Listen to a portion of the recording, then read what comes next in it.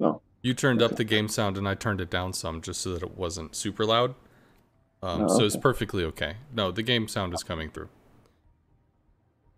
Oh, right. Okay.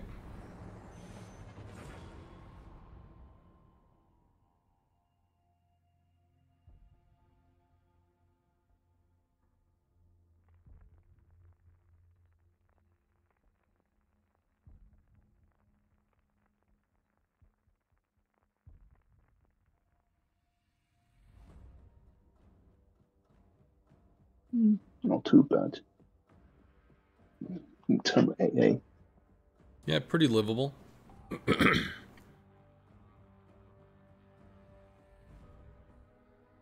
Hindenburg's probably the strongest AA threat on the field. So yeah, not too bad. Either though, I think that's a quite strong. Have defensive AA with that thing. The what now? The Udaloy, Udaloy, the tier, it's a tier 9 Russian DD. It's not. You can rocket plane. The Russian DDs, even if they have defensive fire, their base stats are very low. So yes, it's noticeable, but no, it's not very powerful. Okay.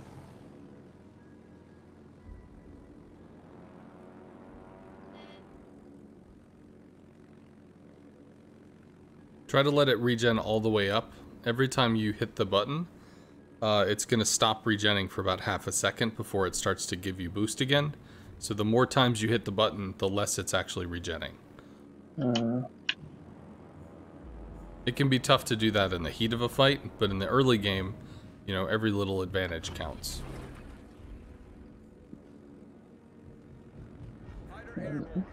so, should we go after Udaloy or should we continue scouting? Uh, I'd prefer to get more information. Let your team know what they're going to walk into.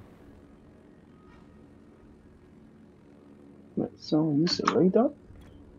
Okay, interesting. Are you looking to strike the Yamato? Why are you going so far Uh, south? no, just looking at the chat. Yes, ooh. Well, might as well. Mm, Run away.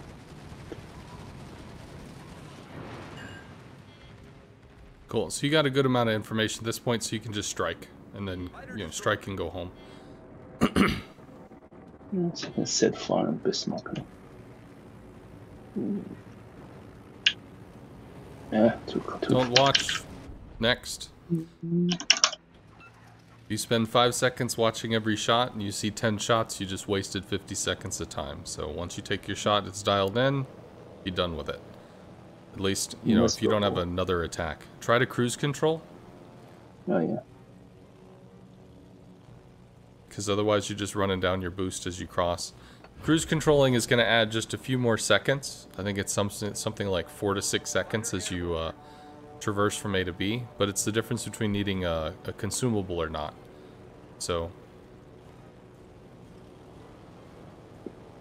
Go see if we can get Edinburgh. Uh, the Edinburgh probably wasn't. He probably went behind the island, so he's likely still going further south. Yeah.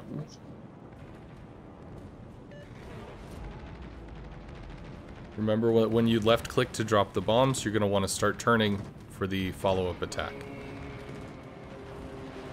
Yeah. You can strike the uh, FDG if uh, you feel like the Edinburgh is not going to happen.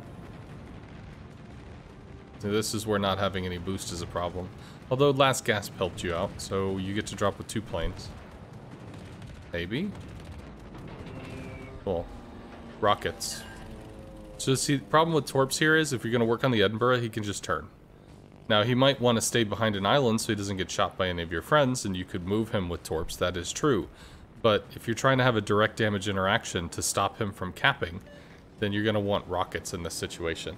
You uh, you want to burn through your boost, you want to get on top of the Edinburgh, you need to get resets. Go to the other side of the island, the other side of the island. There we go. You want to have your- an attack line. He's close to the dirt, which means you're not going to be able to strike from the left. You're going to have to go off this way. Boost, engine consumable. Get on top of this guy. Okay, south, south. Get to him. I know you're going to set up the shop, but we still got to be moving in the direction of the bad guy. Ah, so we're not able to rescue that. So drop and bail, drop and bail, drop and bail. There's a fighter, drop and bail. Get out, get out, get out, get out, get out. Get out. There we go. So we lost those planes. Uh, you can always just left click, drop, spam left click, skip, and just spam the F key to get the hell out. Because the planes, the fighters are going to take a little time to warm up. Uh, good I news is, greedy. so I was hoping to get on the FDG, but I was too greedy. Yeah, there was no way that was happening. Uh, so good news is we tripped across the submarine, so that's some good information. We need to move our carrier. There's no defense in mid, so we're going to want to use all these dudes over on the 9 line to be our new defensive front.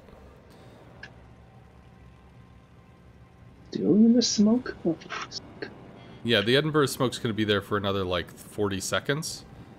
Uh, so you're not going to get much out of here other than spotting the sub. Think that too soon. He's too low for you to interact with. But you can drop a fighter here. Here. Drop a fighter. Fighter. Fighter. Yeah, Fighter. Fighter. Fighter. Fighter. Fighter. Thank you. you're trying to drop it away from the Edinburgh and you're trying to put it between the Edinburgh and that rock with the island. Because if you dropped it closer because you wanted to spot the sub or something, then it's just going to get shot down for free. So you don't get anything out of that. You have to drop it in the north. And what that fighter can do is, if the sub continued going north, he would be spotted and have some kind of interaction that's going to help your sub shoot him. And we need to stop using torps here. We need to use rocket planes because you're striking in Edinburgh, and the Edinburgh can move. If there are if there aren't guns actively shooting an enemy ship, they just turn, and then they juke the torps. Now, if Yeah, it's a battleship or it's point out something that- extremely slow, then yeah, you can torp it. But otherwise, you need it to be locked down so that you have an attack.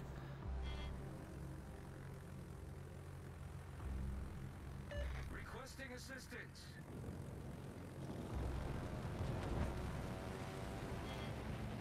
Which way to go? Now, you never want to skip rocket planes. Unless you're recalling. you'd never want to skip rocket planes because that's going to allow your planes to get further away from the short range AA of the ship you just struck. Yeah, it's going forward again. Okay, that looked like there was some really rough targeting. You were swinging back and forth there. Were you trying to mouse and keyboard crazy or? Yeah, it's bad Chicago tactics. Backing try catching from uh, you know very acute angle, which never works. Yes, that does not work on the US line. The rocket planes do not function that way. Yeah, I'm not gonna mess with it actually.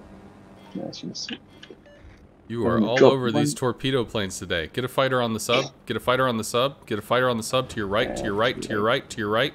Turn to your right. Drop. Just drop and turn to the right. Heel. Drop and turn to the right. There's a sub to the north of your planes right now. You're not gonna hit the Edinburgh. Go find the sub. Oh my god. Okay. Please get out of this. Go find the sub that was briefly spotted to the north. It's on the 6 line. It's on D6. You need to spot that so that your sub can have an interaction with him while you can know he's there. Also, you need to move your carrier to the right. To the right, not that sub, a different sub. You need to turn to the right now. Yeah, All stations. Reporting the position of a And you need to move your carrier when you get a chance because he's got torps out on you. He just pinged you.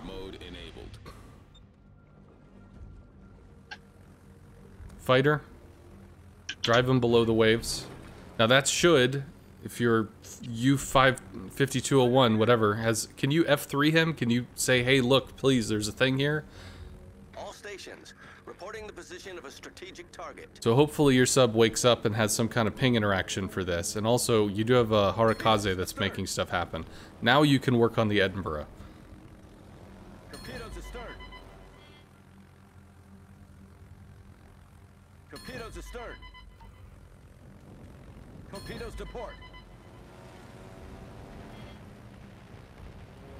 Torpedoes to port.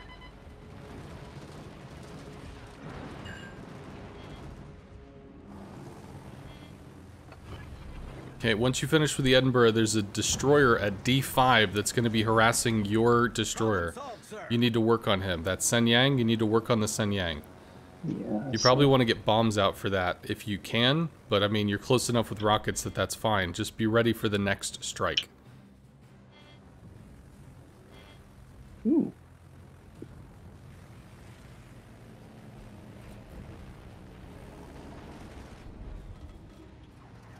Torpedoes to starboard.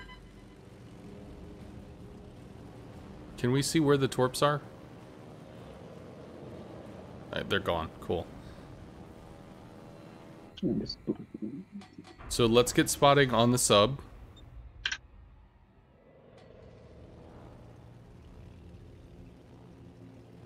He's almost out of depth time, which means you can bomb him. He's going to be forced to the surface. The Balao is a US sub. It has no depth consumable that gives it like additional depth timer. So when you spot him, you're going to have him, uh, he's going to rise to the surface any moment now. So be ready to bomb him. And uh, unfortunately, the Bismarck is getting close enough that it'll shoot down a fighter, but you can still linger him if possible. There you go. Do the thing.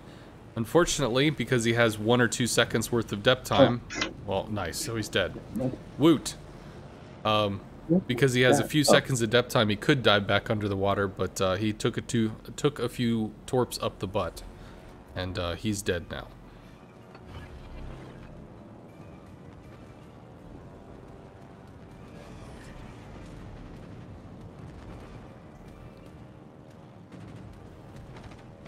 Okay.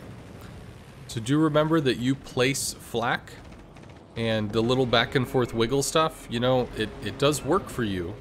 But if you're going to place flak doing the wiggle, once you get past the flak interaction, there are a few times where you end up turning into where you placed it. Because you're like, ah, good, I'm close enough now. Yeah. You, you can't do that. Ideally, you want to place flak away from the spot that's between you and your target as you start getting to that three and a half to four kilometer mark. Because once you cross that barrier, you're going to be through the flak and then you can start aiming and doing what you need to do.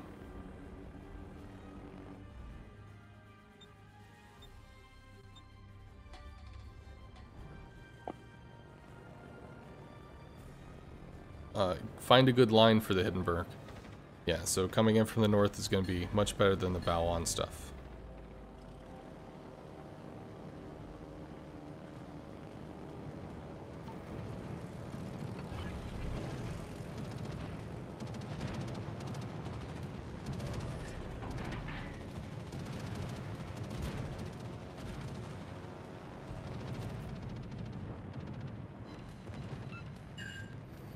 Good damage.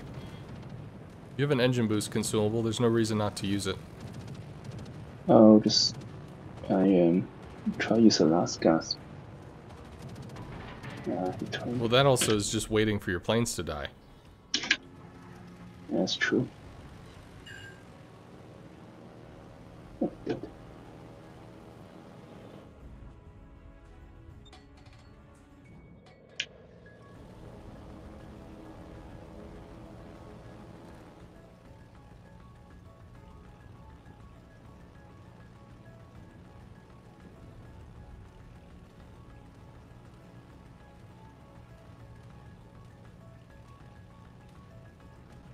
Well this one looks pretty sealed up, which is nice.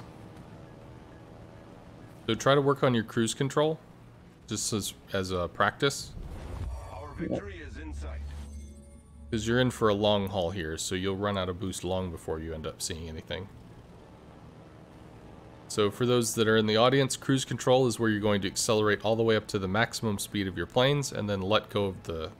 take your foot off the gas, let it kind of coast down until you've fish, filled up your boost bar again, and then run it back up to full.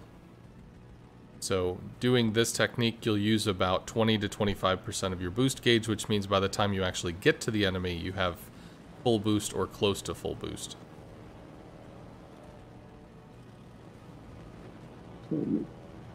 You. See, there we do the turning into flak thing.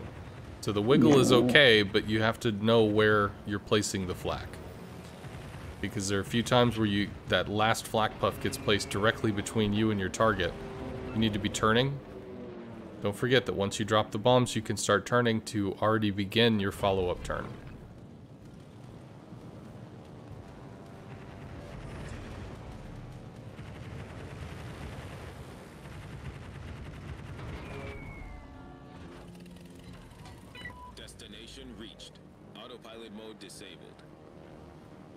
So when you place the flak, so you see the first sh- um, the tracer shot, you turn. Then when the explosion happens, you turn the other way. Fighter returning to ship. One more time. So when you see the flak, um, you see the tr- tracer coming in, you turn one way, and then you see the second set tracer coming, you turn the other way. Or do you come at a kind of obscure angle? For example, you come you can this angle, and you try to place the flak here, and then when fl- flag's placed, then you, um, for example, attack here with the dive bombers. So let's look at the Tashkent. If you point your nose, or okay, that's Tashkent is there. So if you point your nose at the Tashkent right now at 3.6 kilometers, the flak is going to spawn between you and the Tashkent. So at four kilometers, three four kilometers to three and a half kilometers, you don't look directly at the Tashkent. You're going to point your planes slightly off to the side, so that when that flak wave happens, it gets placed off, uh, off to the side, which then you can turn in and go to the Tashkent. So, for example, if you look at this So- direction, So go to the Edinburgh, for instance.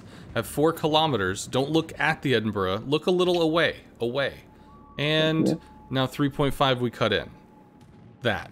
So, or maybe at like 3.6 you start to cut in, or 3.7 you start to cut in. You're going to want to put the flak off to the side so that you're going to have a way in.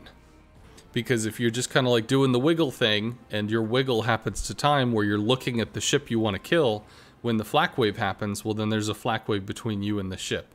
And then eventually you get close enough that you just have to commit on the ship, which means you fly right through the flak and you get nailed. Gotcha.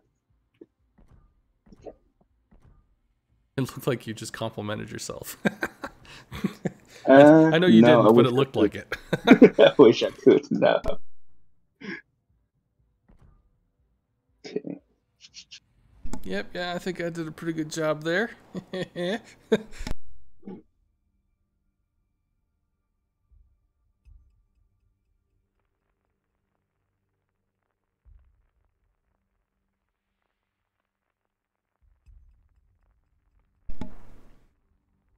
so, lessons to be learned from that match.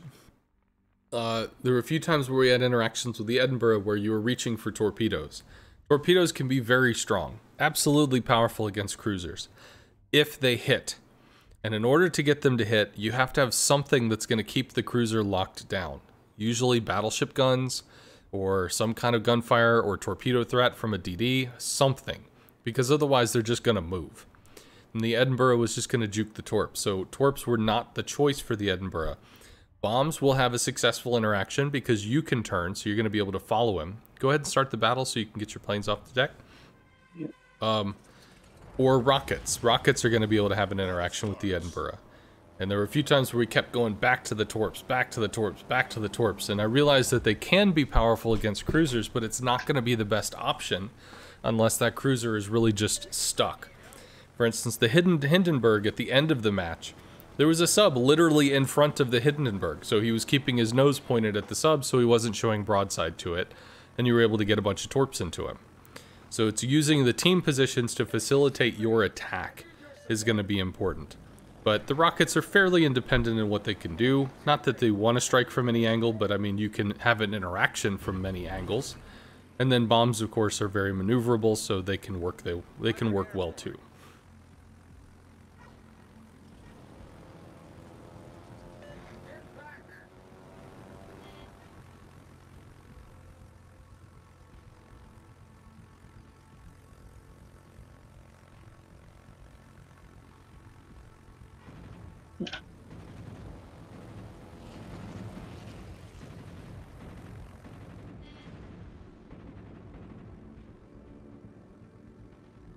Try to save your boost when you make those turns.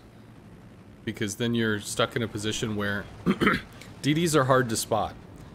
If they turn off their AA, you don't see them, which means you have to slam on the brakes when you're trying to aim. And you need boost to be able to brake so that you can aim.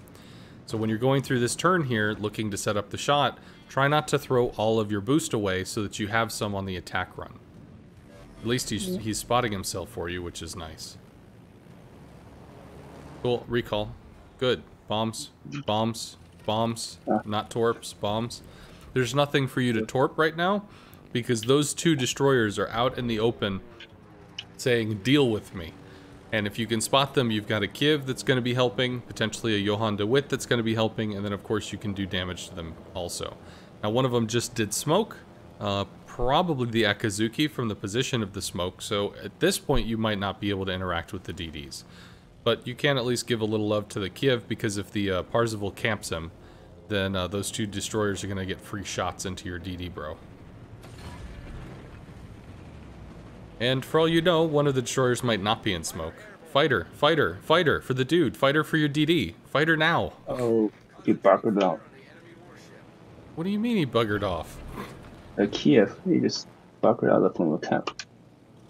Yeah, he's not in the cap, but there's a Parseval on top of him and the Akizuki is shooting him. That's why you wanted the fighter, so that you could try to force the uh, the Parseval off of him. This is gonna be painful. Use your engine boost. Use your engine boost. I mean, if you're going to commit to a strike, at least you can try to juke stuff. You're late on starting your attack.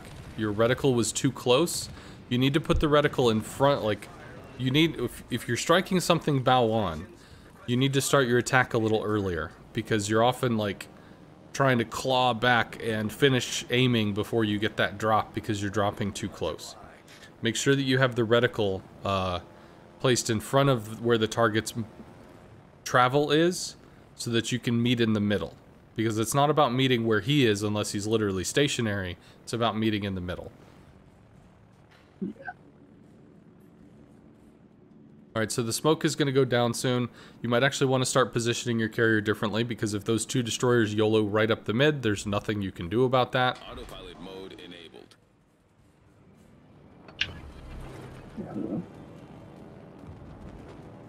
You might want to heal. You took flak. Heal. Heal.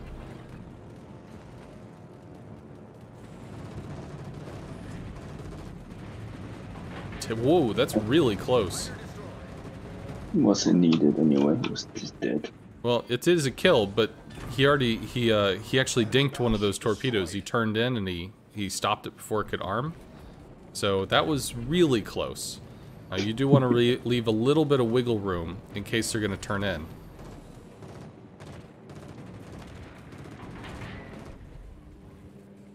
Uh, bombs. Oh, sorry. See, I don't know I'm what you're trying gonna. to rocket the rocket the DDs. Uh, well, bombs are gonna be the most effective against destroyers in terms of damage. I mean, yes, if you can get rockets into the DDs, then that's cool. But you are literally detected, so you need to get the destroyer that's in F5 right now. Which, which is why you probably want bombs for this because look at the DD. Because you're gonna want to be able to force, you know, try to get some kind of real damage interaction here. And you want to put a fighter over that. At least he's going to stop spotting you soon, which is nice. Good shot. Thanks. Fighter airborne. So now you could either torp the FDG or bring bombs. But the rockets aren't going to do you anything right now. So you either need to bring bombs because you could bomb the FDG or a destroyer. Or you bring torps for the FDG and just accept that the destroyer is not going to get hurt. But you may have to re-up your fighter on the smoke screen. Because you do have uh, surf surface assets. A Duke of York, for instance, that could maybe shoot him if he comes out of smoke.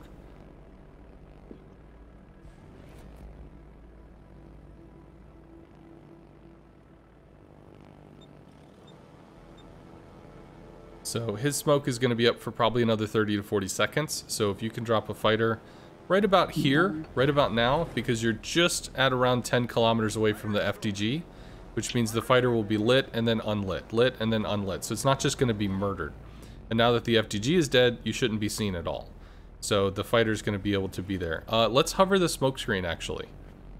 And I'm not a big fan of trying to torp DDs, but at the same time, because you have surface ships that are within torpedo range of the the Błyskawica, Błyskawik, whatever, uh, because you're uh, you have ships that are so close, you do want to kind of live on top of this to help them out.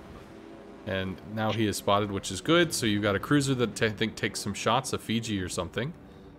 And a Kiev as well. Smoke should go down very soon. Nah, smoke not shooting.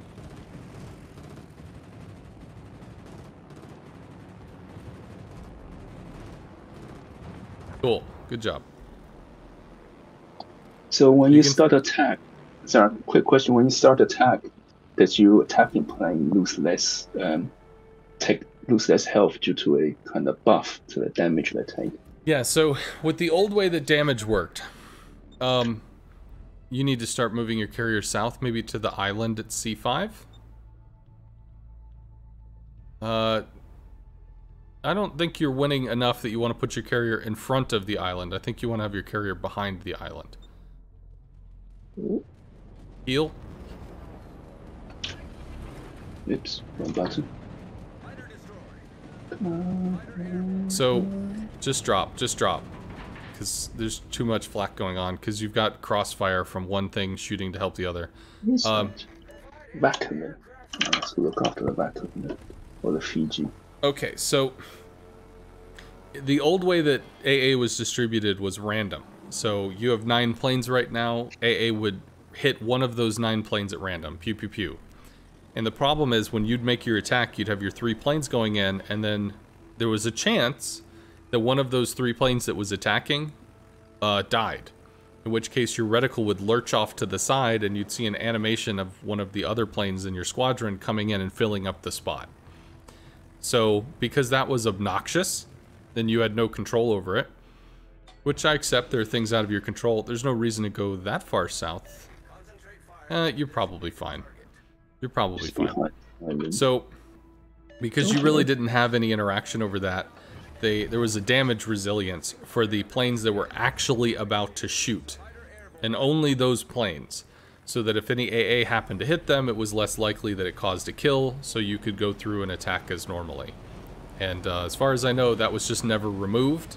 So the planes that are shooting right now, those three planes, while you're setting up for an attack, they have a damage resistance. But the way that AA works is it shoots the uh, it shoots the planes going right to left, and it's the left planes that are the ones that are attacking. So yeah, they have a damage resistance, but if they're not taking damage, who cares? So you only protect these three planes, the ones that you're using right now. So in the case of like a Soviet CV, um, the all of the planes are attacking at once, so all of the planes would have a damage resistance during their attack. In the case of a US CV, it's only the planes that are, you know, the attacking group. The other ones, they're just purely normal.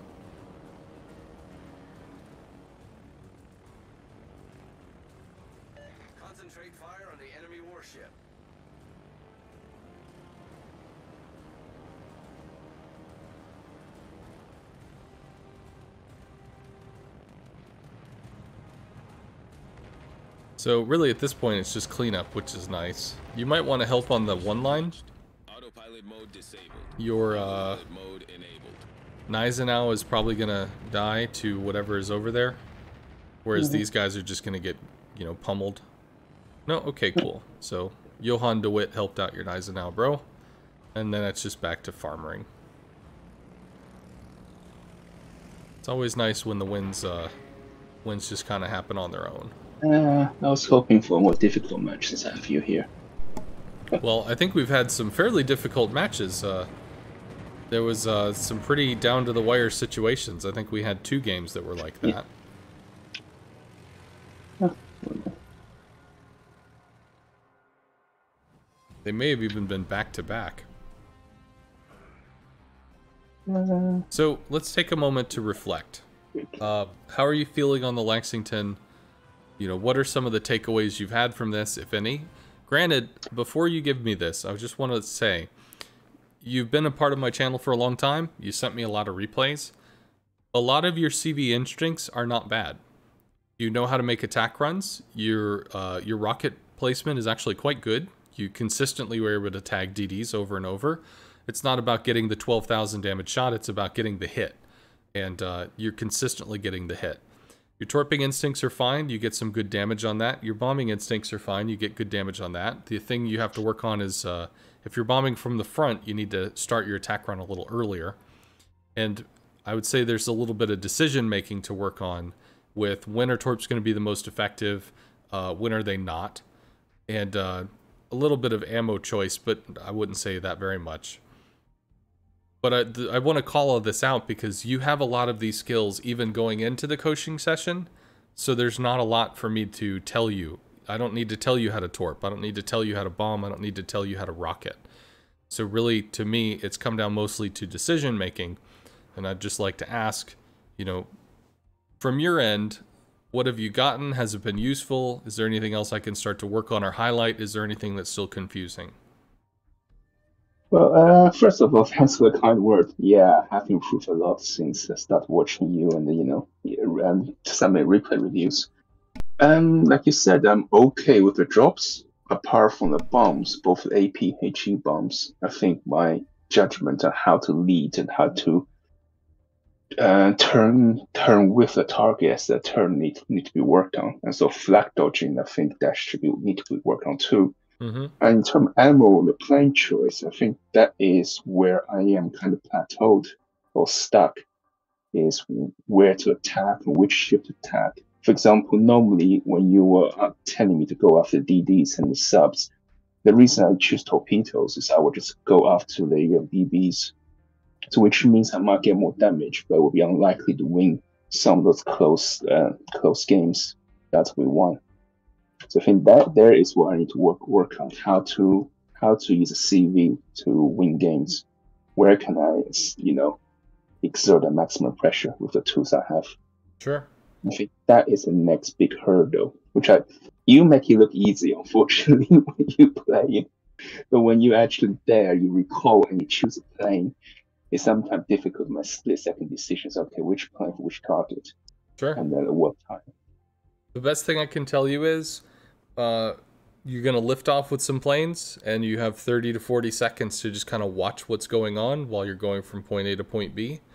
Um, I stopped looking at the planes a long time ago. I mean, they just sit there, so. Uh, so I'm spending most of the time looking at the mini map, and I usually have an idea of what the next thing I want to work on is while I'm making an attack on something. Sometimes I don't have that idea, and I just have to sit there and stare blankly at the map after I recall, going, "What am I going after?" Um, and usually I'll I'll come up with something. Um, I just want, as far as the target choice, I me personally, I work on a priority structure. You know, this is more important than this is more important than this is more important than that, and you're not gonna go wrong if you're looking at what's on the map and you're thinking, hmm, that looks like a problem, can I help there? If there's a destroyer having a brawl with your destroyer, yeah, you can help. If you have if you have uh, some battleships and your destroyer is dead or your destroyer has left them out in the middle of nowhere, you can help. You can be the person that kind of guides them out of the storm or tries to get them, you know, back engaged again because battleships that don't have a front line play really scared and tend to just sail away from the enemy. And that doesn't help you, that doesn't help anybody. Doesn't help them have fun, doesn't help you win the game.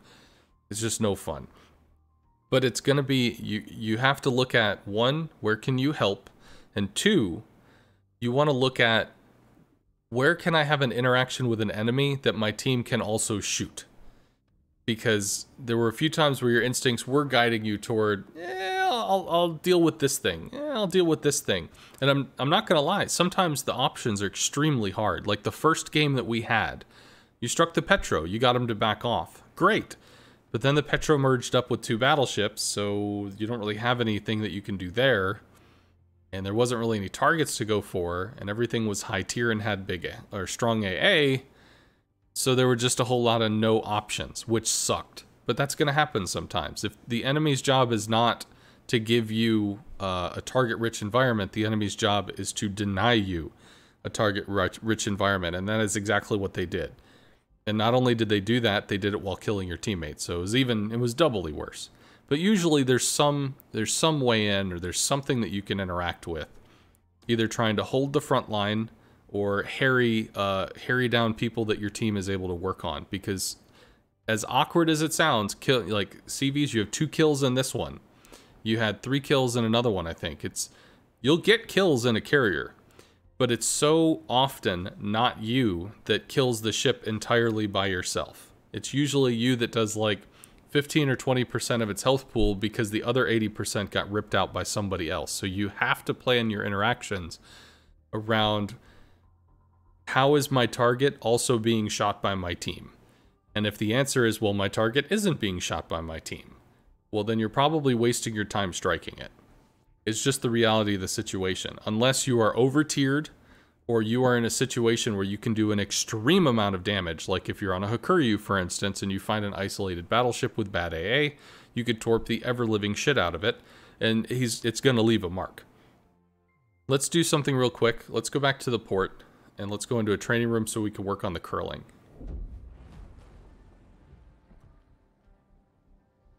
All right, so go ahead and take the Lexington.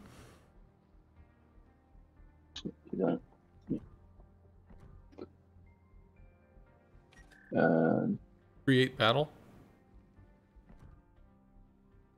If you're on ocean, I want you to change the battle mode to um, the bottom one, I think it is. It's the armor resilience test, yeah. And let's set the battle time to 30 minutes just so you got time. We're not going to use that, but create. You don't even have to set up enemies here. Uh, so I just want you to ready up and then battle, because it'll be the Lexington. oh, that's it. Mm-hmm. Okay, let's start. So we're going to work on curling. Uh, because this is going to be a pretty critical skill for U.S. battleships, or sorry, U.S. carriers. Um, so right now, throw your carrier into full forward and hard right rudder. So that's W three times and then E uh, twice.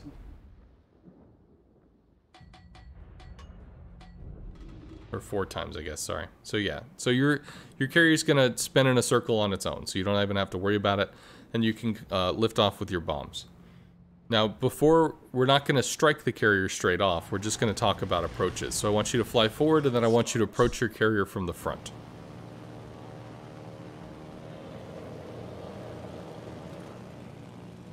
Cool, so we know the carrier is going to move forward. Maybe if you're attacking a ship, you're going to know the same. Put the reticle where you expect to hit the carrier, which is now. So even now, if you slam on the brakes, you're still you're still not quite firmed up by the time you get on the carrier, but you're kind of firmed up. So you actually want that reticle to be even even further away from the carrier, like an entire ship length away. You're putting it about half a ship length. So let's look at where that reticle right there was. That reticle right there was a full ship length in front of the CV.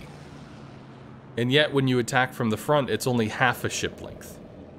So your reticle placement from behind is beautiful. The reticle placement from the front is not. Now, when curling, you're going to put the reticle off to the side, opposite of the way you're going to turn in. So, and that was too close, because you could see half the reticle was on the ship when you did that, and you can see how hard it is to firm all this up, right?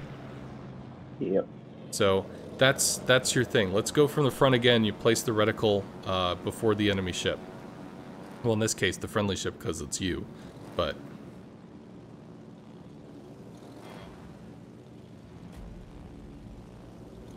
now. So did you see like the reticle almost wasn't even touching the ship and now we're firmed up and we're going in and taking the shot? Yeah. That's about how far you're going to be doing it. Because the dive bombers, yes, they have an up and down motion, but these are not AP dive bombers, so it's okay for you to be able to roll into your target or roll onto your target.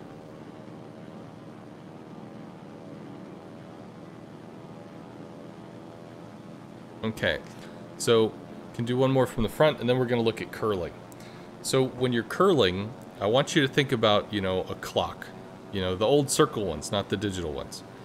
In which case, you know, if you put the reticle at 3 o'clock, you can roll it up to noon or something. You can roll it up to 12 o'clock.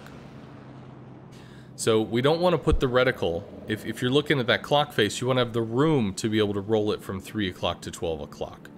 If you put the reticle at like 1, that's not going to give you a lot of room to work with. So you want the room, you want the ability to make the turn.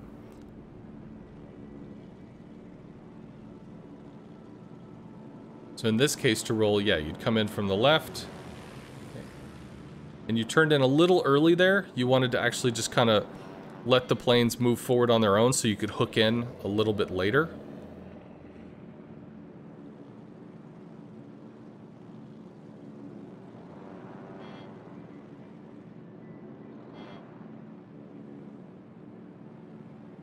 But effectively, this is what a battleship's going to do. Oh no, there's planes! And then they're going to slide into a turn, and this is that turn. So it's recognizing how to place your reticle in relation to it. So you can spend time in a training room just having your CV spin in a circle, and you practice doing attack runs on it. Don't turn in yet, don't turn in yet, don't turn in, now turn in. Okay, so let it linger just a little bit longer to pull yourself off to the left so you can hook in a little bit later in the turn. Uh, sometimes that can screw you, where it's gone on so long that you don't have time to turn in anymore, but it's going to be a feel thing. You're going to learn it. If you start to turn in early, you're just denying yourself the ability to turn into the shot.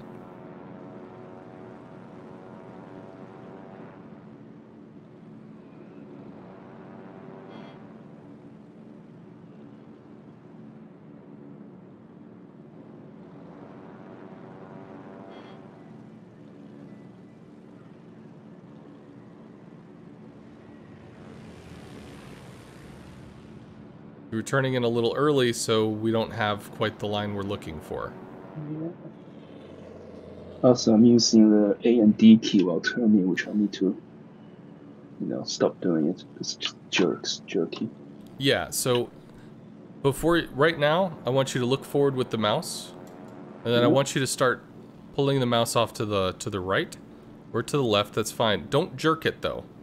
Just move it slow and watch as the console or the the thing responds. Move it a little more. Move it a little more. Move it a little more. You can hard turn with the mouse. But if you have to do a hard turn, like a real hard turn, use the keyboard. But once you start getting it to the point where you can fine tune it, that's when the mouse needs to take over. Because, yeah, the keyboard is extremely jerky. Yeah. Is This a keyboard. Well, it's not just a problem with the keyboard, it's the problem that the keyboard is going to fight with the mouse. Because the mouse is trying to give input at the same time as the keyboard is. So as soon as you let up on the keyboard key, ramp, it's going to start moving back toward wherever your reticle is pointed. So it's better, if you can, to guide in with the mouse. Maybe two. Right. Yeah, see, this right here is not, you're not using the mouse at all. That's just completely trying to keyboard it, and it gets awkward. Try not to use your keyboard at all. Once you set the thing, I mean, that wasn't a hard turn there. You could just use your mouse for the entire drop. Okay. Not touching the keyboard at all. Well, you need to get yourself on a line, so Yeah. once you've started your drop. Now, put it further off to the left. Further off to the left, because you're going to have to hook in pretty severely here. There you go. Start your attack. Just use your mouse, but you can't you can't yank it over to the side. You have to guide it over. Uh, When you quickly lurch it over like 30 degrees, that breaks the that breaks the aiming contact. Basically, it's it's assuming that if you're gonna quickly look over to your right or look over to your left, that's the equivalent of a free look. You're just trying to glance and see what's going on. When you're trying to aim, you're more steady with your mouse movement. So you want to you want to guide it into a turn and keep the turn going. Further to the left, you're too close. Because we're not going to be able to cut in enough. You need the room to be able to cut in.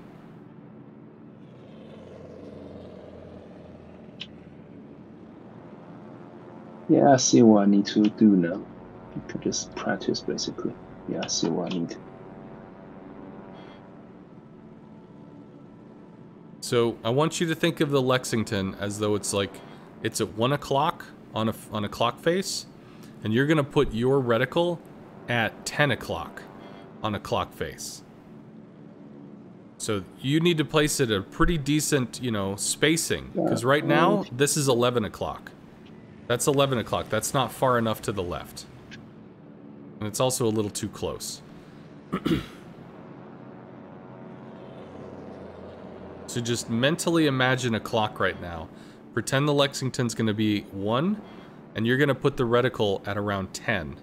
And also, because planes move forward, you know, it's not strictly like a clock face. You're going to pull it a little closer to you, per se. Start the attack. And you turned the mouse a little quick there, so it didn't know how to follow, but it could have been, that could have been really good. Yeah, I see what you mean. I need to uh, practice a bit more. But it was really good reticle placement. Yeah, thank you. So you just, yeah, so enter one internal clock face and don't jerk the mouse all the way to the side.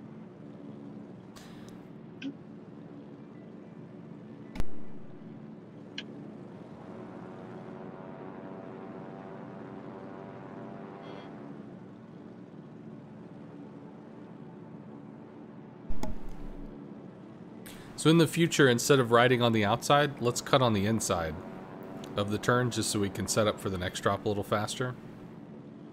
So right about there. Good. And guide it in with the mouse. Good. It's a great line. That's a beautiful line. Cut to the left.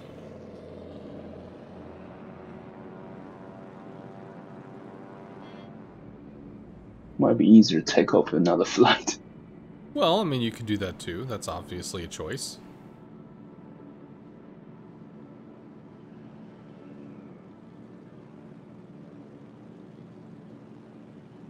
Attack.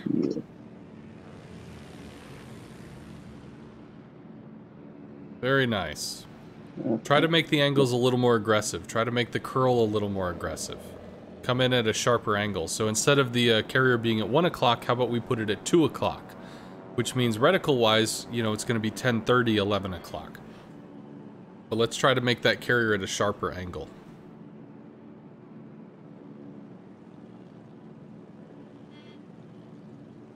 About here. So it's not bad that your instincts are pulling you onto a good line. Sometimes it's tough to tell somebody to do the wrong thing. But uh, we do want to practice what it looks like for a sharper, harder turn. And in the sharper, harder turns, you may actually want to uh, you may want to use the keyboard a little until you can guide from the mouse. So try to approach where, like from here, where it's already at an angle. So slow down to let it turn a little more. Slow down to let it turn a little more. Because there's, it's a pretty shallow angle right now. You're getting ahead of it. That might be something that I'd have to show you because I don't know if I'm describing it very well. Alright, so the reticle was a little bit too far out there.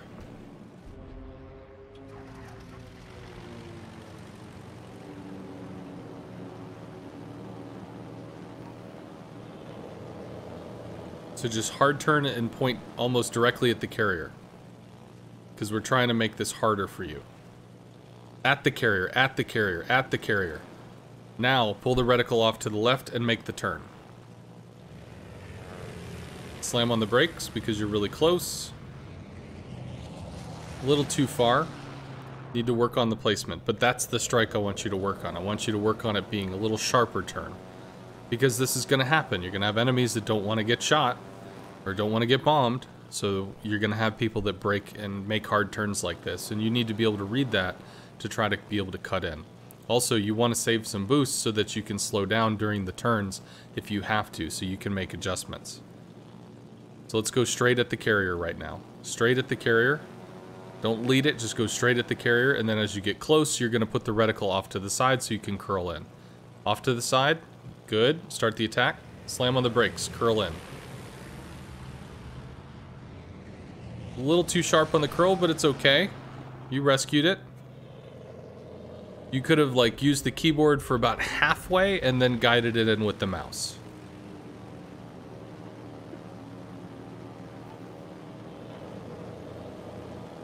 So fly directly at the carrier.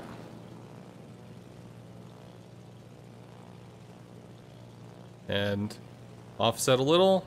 That's good. That's a little too far forward, actually. You overshot.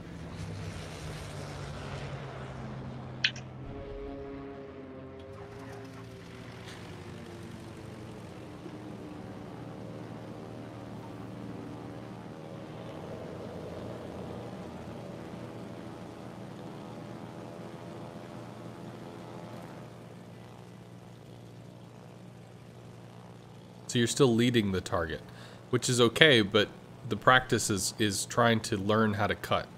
So, is learning how to turn in. A little too far. You're actually overleading. So when you started your attack there, your planes were almost like directly in front of the carrier. So all you were doing is kind of like over over passing it basically. Um, you want if there's space between your planes and your reticle, if there's a space on the map, you know, on the board or whatever, you want the nose of the carrier to be pointing in between your planes and the reticle. If the carrier's nose is pointing at your planes, you're already a little too far. So, Oh, if that gives you kind of a mental image.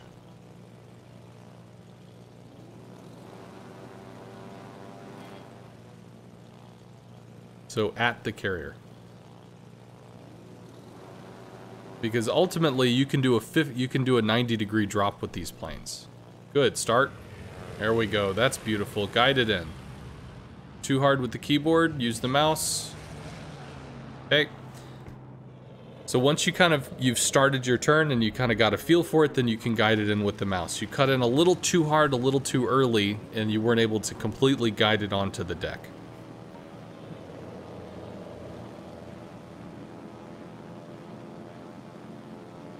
Let's go directly at the Lexington. Save your boost for the attack. now here, here. Good. Don't hard turn in too much. Let it. You gotta let it. You have to let it hook. You gotta let the planes move forward a little past the nose of the carrier so you can hook into it because you can see he's still turning. So you can't start the attack while your planes are directly where the carrier's nose is pointed because that's just too far. But during the course of your attack, you want the planes to pass the nose of the carrier, or at least the direction the carrier's pointed, for you to hook in because he's still turning. The carrier's still turning, and uh, you're going to meet in the middle. So there you go. Now you've just, well, okay. So you almost passed his nose and then you rescued it, and that's cool. So good. You were just about to turn in too quick again. And, whoop, and then you recovered it, and you kind of got onto the, you know, instead of being on the port side, you were on the starboard side of the carrier briefly until you all merged up straight again.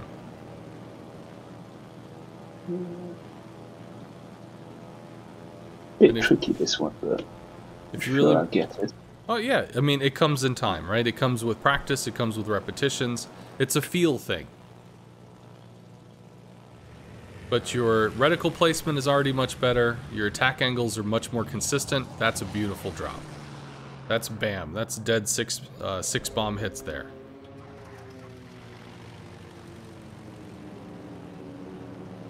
So if you can do it one more time, and then we'll try to approach this a, a different way and curl from uh, cur- curl from behind because it's going to be a different strike.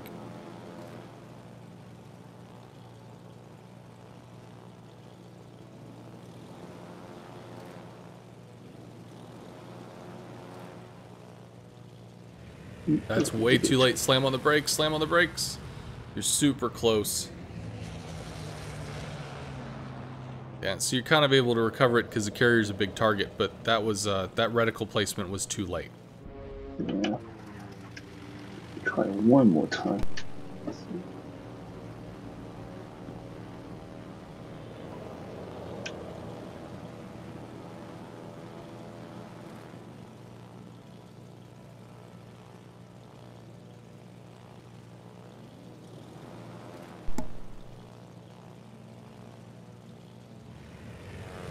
Don't hard turn too much. Remember, port to starboard side. You have to cross.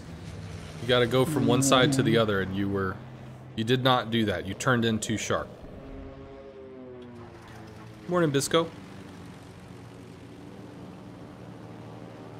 Because ideally, if you're coming in dead on from the front, you know, you're dancing in port side AA, dancing in starboard side AA, you're just, you're right on that edge. And in that attack run, you were always on the port. So you were not coming in from the front, you were always on the port side.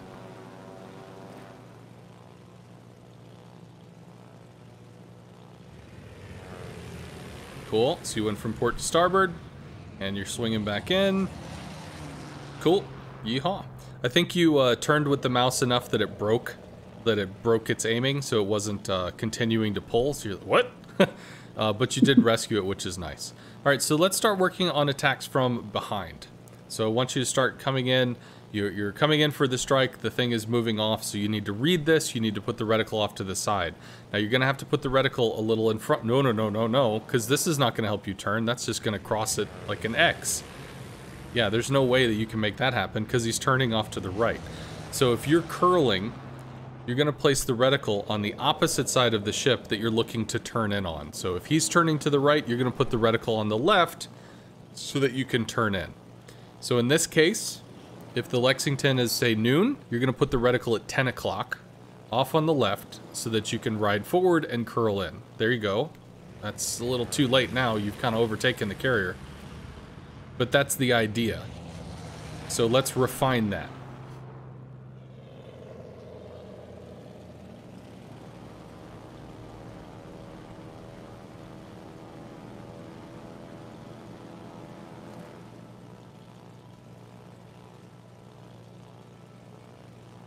So you can see where he is, you kind of read the turn. You're just going to have to put the reticle enough off that you're going to be able to stay latched in on behind. Cool. Now, you didn't have the reticle in front of the ship, which meant you were chasing, but it still worked out because there is still forward movement on the drop. So as you were going through the drop pattern, you were still able to come in and make, you know, firm the reticle to catch a good line, which is good. So do it again, but try to have the reticle if not at the same like uh, like there. Oh man, well, it was just a hair after I would have done it, but uh, you want it not right next to this, or oh god, how do I describe this? Damn it! if you have two people on uh, two people in the Olympics and they're doing the running thing, right? They're staggered, right? They're not right next to each other in a line. You know, one of them's kind of in front of the next, one of them's kind of a little more in front, one of them's kind of a little more in front you almost want to have that staggered runner off to the left side of this carrier where it's a little bit in front of the carrier if you were thinking of it like that. There we go. Because now as you're aiming, you're riding parallel and you're able to cut in. But we need to work on how you find your line.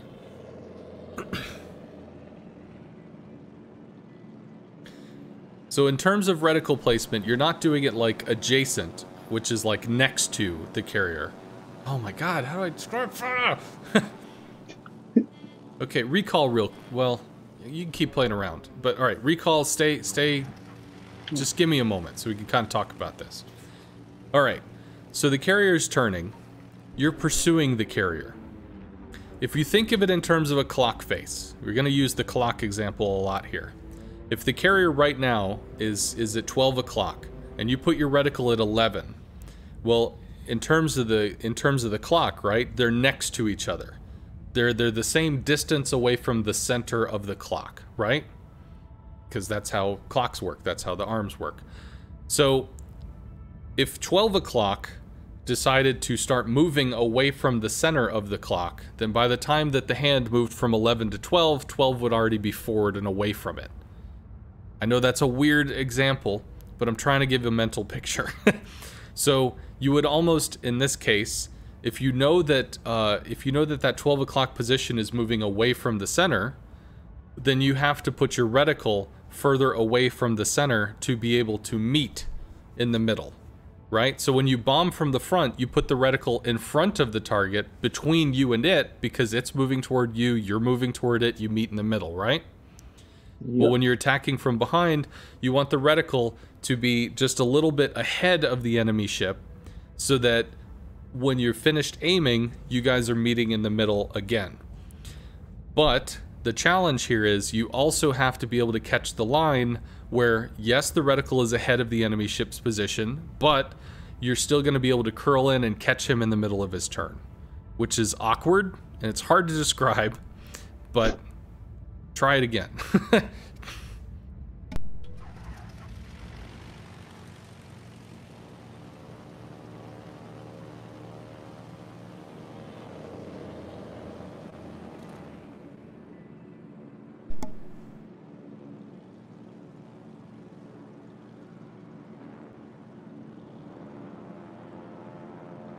There we go. There we go. So it's just a little bit in front. It's not huge because there's a lot of forward movement with the planes. Now in this case, it was close enough to the to the target that we weren't having that going from part uh, going from starboard over to port and then back in on that perfect perfectly aligned kind of thing because we still want the planes to slightly past the the middle axis of the ship. We want it to go from starboard to port and then just basically into the drop. So that's a great reticle placement. And we're curling in. You Very nice. Very nice. I was a little worried you're going to cut in, uh, turn in a little more sharply and deny yourself the angle, but uh, you did recover that, so woot. Try it again, and then as you start to get the feel of it, try to make it a more aggressive angle. Instead of attacking something that's at a 15 degree off angle, start making it a 20, start making it a 25, start making it a 30.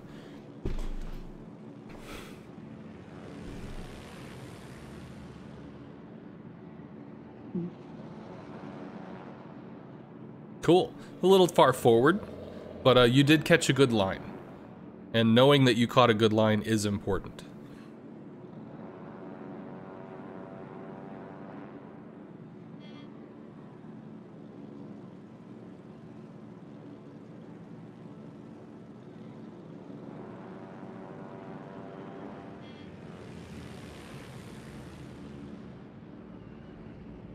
Here you go. He's to merge up and you have a drop. So ideally, let's let's assume that you're trying to bomb a destroyer. Well, the destroyer is not as large as the CV. So if you can, let's try to get the target reticle dead center in the CV. Not on the nose of the ship, not on the ass of the ship, but dead center. So that you're you're trying to correctly place where the reticle is going to go.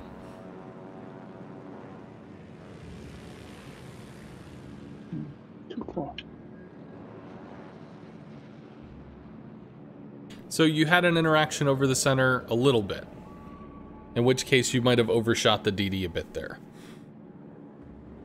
So we're pretending the center of the carrier, that's the bullseye. That's what you want to merge up on.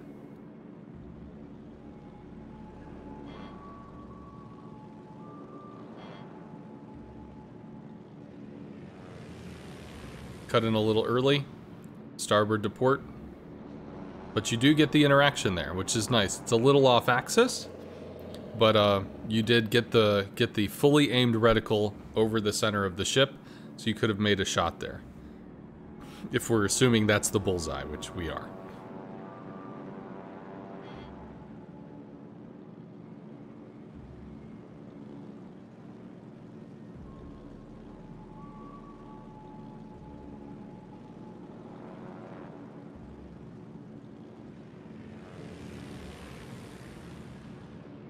Yeah, I was cutting too early.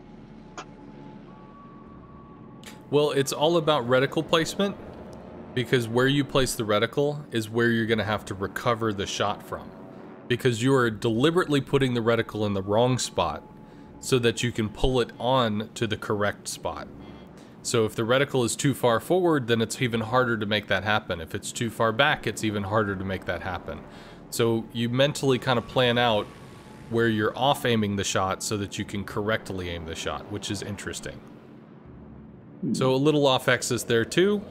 So you're getting the reticle consistently onto the center of the Lexington now, which is good. This is improvement. But you want to get that up down, you want you want to get that perfect line.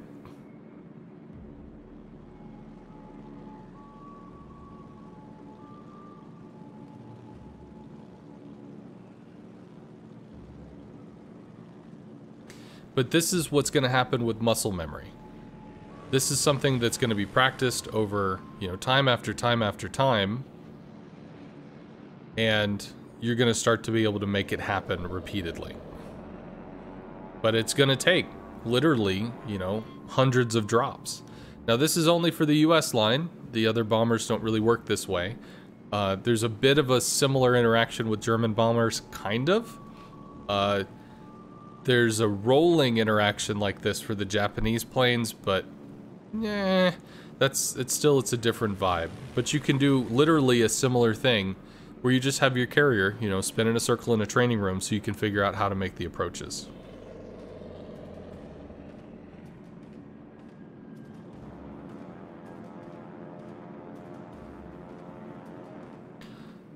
Okay, so now we're actually going to uh, start bombing the carrier. I want you to actually start dropping bombs, and I want you to hit the bombs on the center of the carrier. So you're not going to live very long. That's okay. Yeah, too far forward. Well, it's not that bad because you are leading your target. So you got four out of six bombs in the center of the carrier.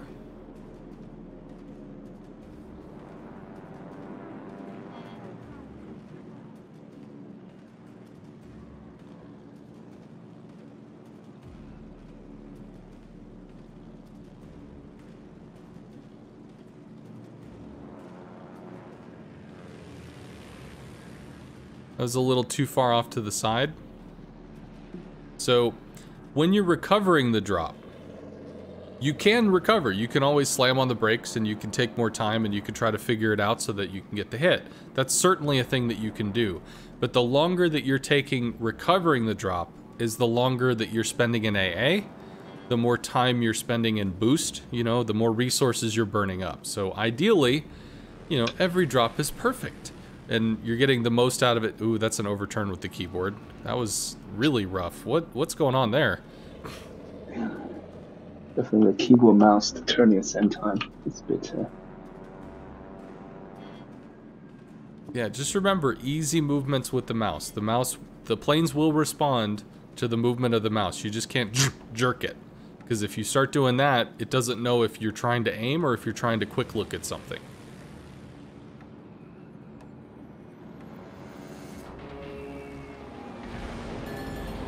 Several bomb center. So there's not a way in a training room to tell a uh, to tell a DD to do what you want it to do. There just isn't. Uh, you could set a few bot AI things, have them armed and have them moving, and they'll charge your carrier and shoot you a bunch. So you could do that. But in terms of like curling, uh, let's exit to port and let's start working on stationary targets. So over on the enemy team, you can go ahead and ready up in the Lexington. But over on the enemy team, let's put a bunch of battleships. Whatever nation you choose, not armed, not moving. It wouldn't matter if it's moving because it wouldn't do anything if it can't shoot. So I don't think it moves regardless. Oh, sorry, moving or not moving? Well, not moving ideally, but who knows? If it moves, that might be cool. I just don't think it will mm. if it's not armed. So, whatever. Just add a bunch of them and start up. It'd be funny if they end up ramming you. But...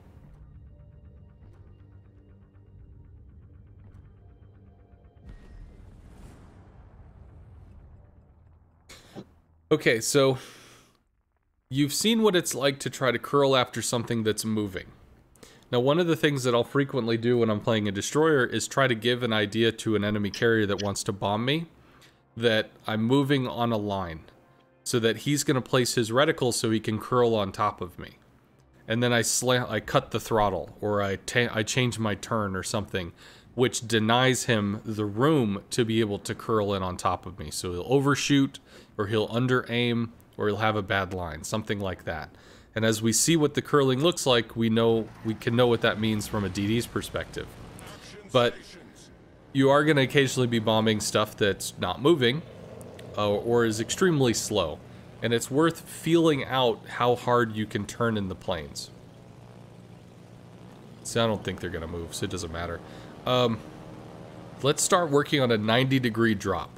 So I want you to take a bad line, which is hard because you, your body's going to want to guide you to do the right thing. Like you're already looking at a Veneto like you want to strike it but I want you to come in at a 90 degree angle on a battleship and try to recover it. So think of it in terms of the clock face. The battleship's going to be at like 3 o'clock. Your reticle's going to be at like 12. But remember that bombs are still moving forward, so you have to you have to uh, put the reticle a little closer to the center of the clock, as as I was using the example earlier, because they're going to travel, and because they're going to travel, you have to account for that movement.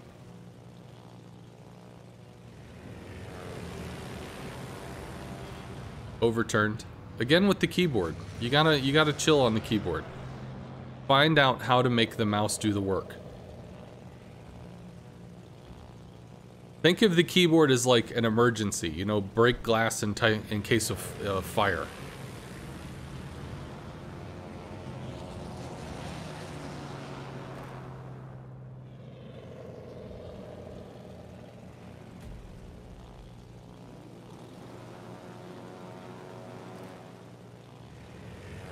You're turning in a li- little too quick. Slow it down, slow it down.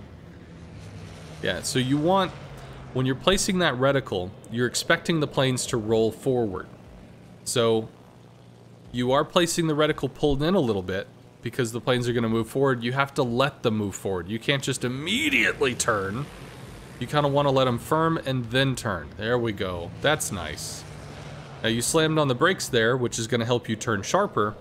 See what you can do without having to slam on the brakes. See what you can do uh, in terms of letting the planes move.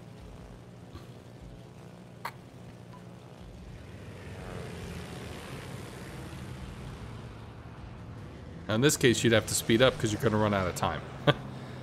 and that can happen if you take a shot and then the enemy starts pulling forward, like a destroyer or even a battleship, depending on how quickly it accelerates.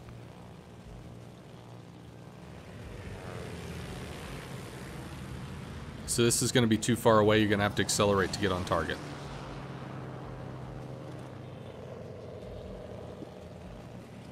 So yes, you're giving yourself room to roll, but uh, at the same time, you got to think of it in terms of that clock face. You know, when you're setting the reticle, it's got to be close enough. Woohoo!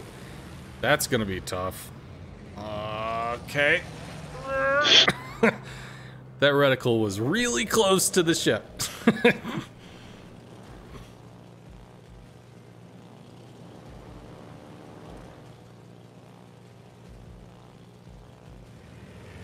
That's really close, but maybe you can, yeah, you can recover that if you slam on the brakes. Was a little too much on the keyboard, and it was a little too early. You could have made it happen, but it was, you started turning in too early. Try to, uh, try to play chicken with yourself. Try to dare yourself to turn in later, so that you can feel what it's like. So, I, I went out on, uh, a company, you know, we were celebrating our company's anniversary or whatever, and we went out to to be in some go karts. And I asked, you know, is it okay if we spin out? And the go kart instructor told me, uh, if you don't spin out, then you're not trying to learn the limits of your go kart. So it's perfectly okay to spin out because you need to learn what you can and cannot do because that's the only way you know how to push it to the highest level of performance. So don't just turn in because you're scared you're going to miss it. Try to dare yourself to turn in later and figure out when you have to turn in so that you get it. So that's too early again. And again, I know you're using the keyboard because the mouse is not looking where the planes are going. It's just sharply turning off to the left. Use the mouse.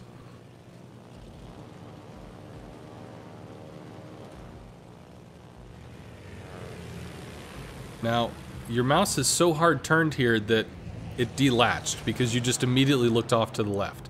So here, stop dropping. Look forward. Look forward with your mouse.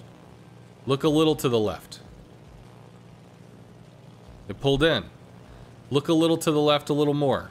Notice it broke. When you hit that 25 degree mark, it's going to stop going. But if you coax it into the left, it's going to respond, oh, you want to turn? And you can see how sharply they turn. I'm telling you, you can make these turns with the mouse. You just can't jerk it over. Calm, steady, allow yourself to make the movement. If you have to hard turn during the initial part of the drop, that's okay, but you need to keep your mouse pointed where you want to go so that when you lay off of the keyboard, the mouse takes over. Good. So ideally you turn in a little sharper a little later and you roll directly onto the center of the ship. Use the mouse. Use the mouse, Luke.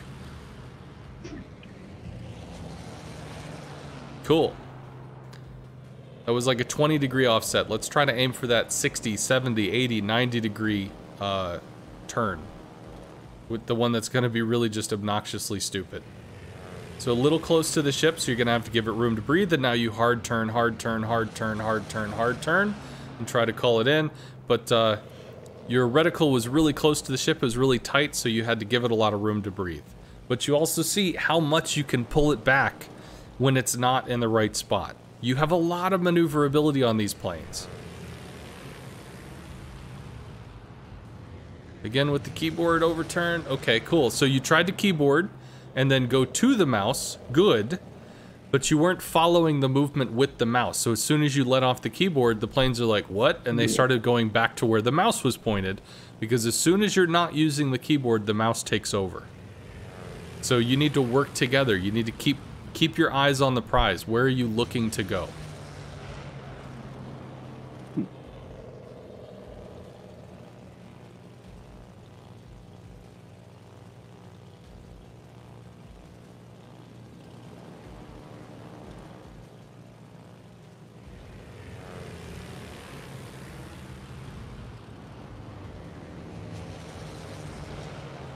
Good.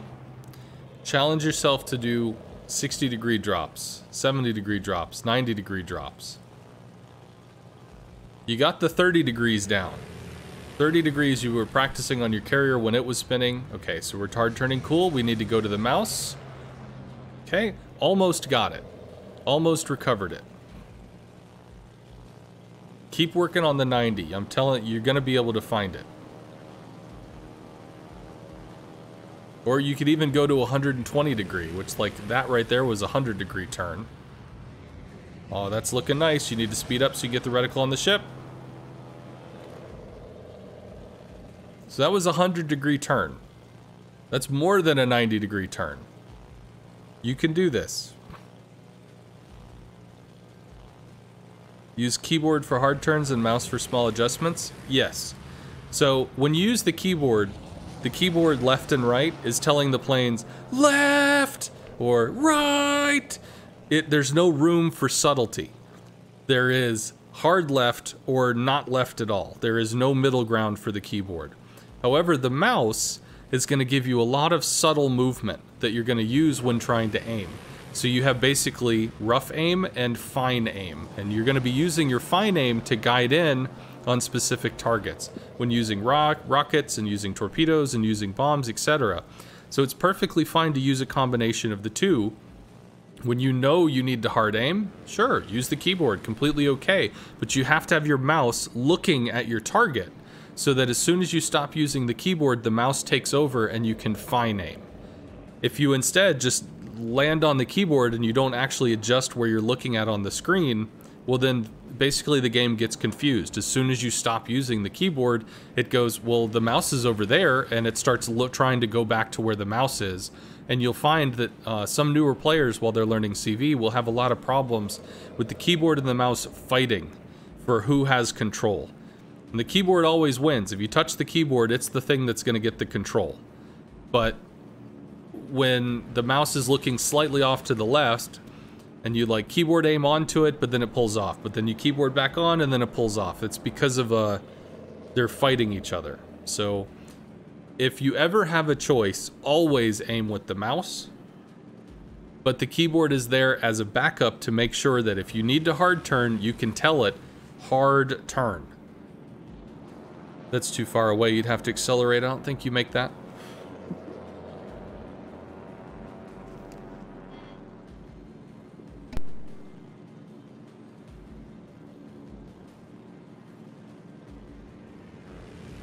Reticle was too early. You needed to let it push out a little more. Because you see, you'd have a great roll if you were just a little further forward to be able to roll onto the ship. Just a little too early.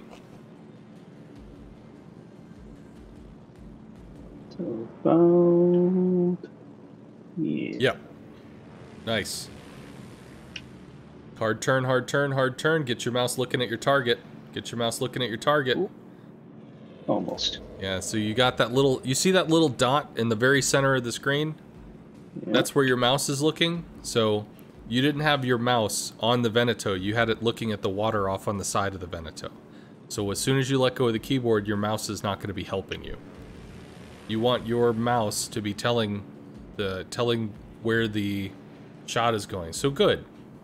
You had much you had a lot of control as to where the center of the screen was pointing there, which is what you want.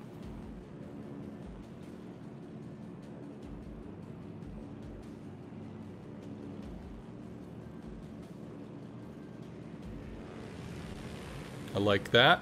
Guide it in. Stop with the keyboard. Use the mouse. Use the mouse, Luke. See? We overturn with the keyboard. The mouse isn't in position to correct it. You can't correct it. Shit. well, then you start dancing around hitting the, the left hard mouse move or how hard key on the keyboard. It's like it, it just it slips away from you. It's fine to hard turn, but you need to hard turn into the fine aiming. Can I tell you something? Sure. I prefer torpedoes on the Japanese planes. Okay.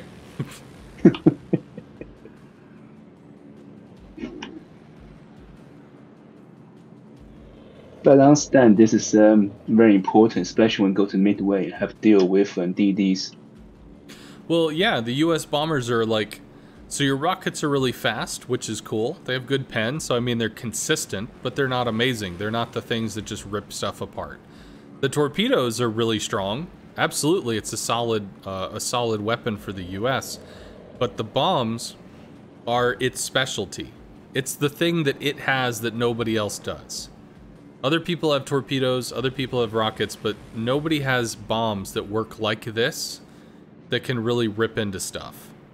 So learning how to use the bombs is going to be a critical part of learning how to make the USCV line really jump out. Because it's just, this is part of what you do.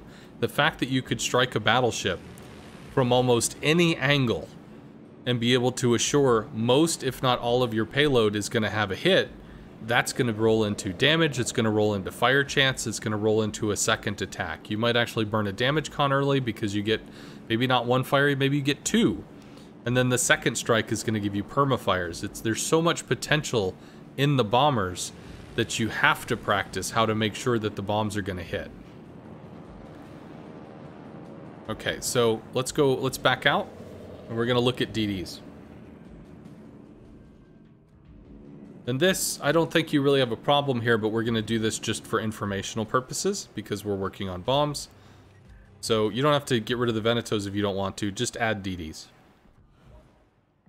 Because removing them takes a while, so it's kind of obnoxious.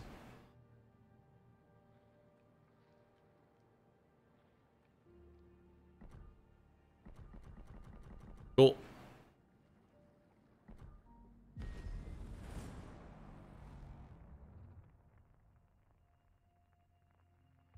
I don't know if they move if they see your ship, or if they only move if they can do something threatening. Like the Skyans may actually see the Lexington from the spawn, in which case maybe they'll move, but I don't know what they would do.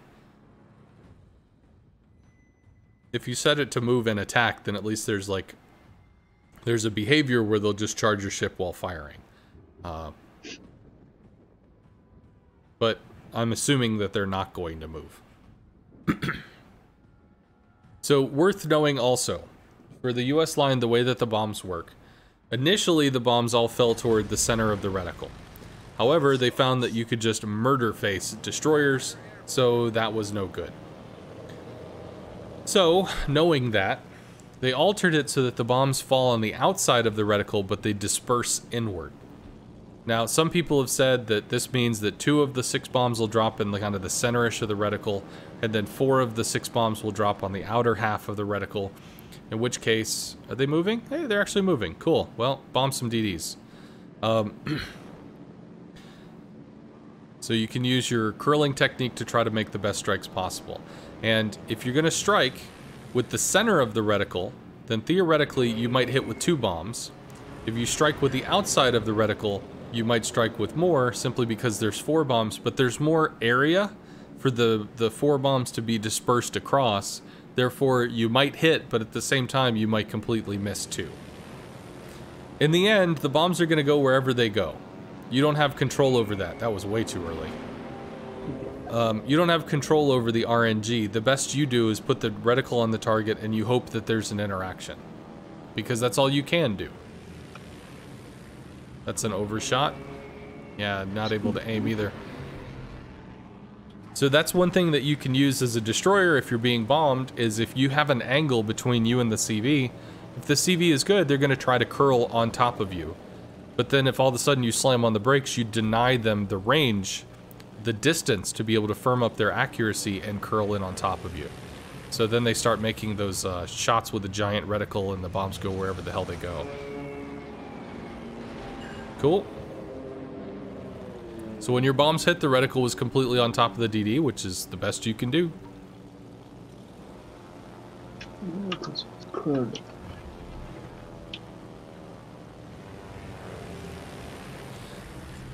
Also to be aware, when you've got more maneuverable targets like destroyers, they might S-turn. So you start going in for the turn, but they cut in the other way. So it forces you to have a weird line. Uh, so be aware of the fact that they can S-turn. And when you're going against battleships, you could absolutely put the reticle way off to the side and try to hook in and make it happen, because the rudder on a battleship is just not amazing.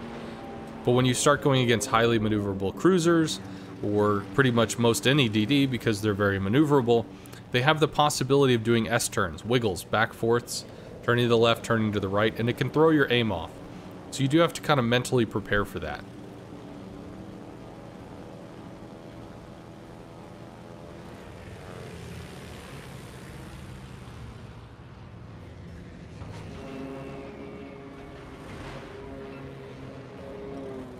Oop. Uh, compress P.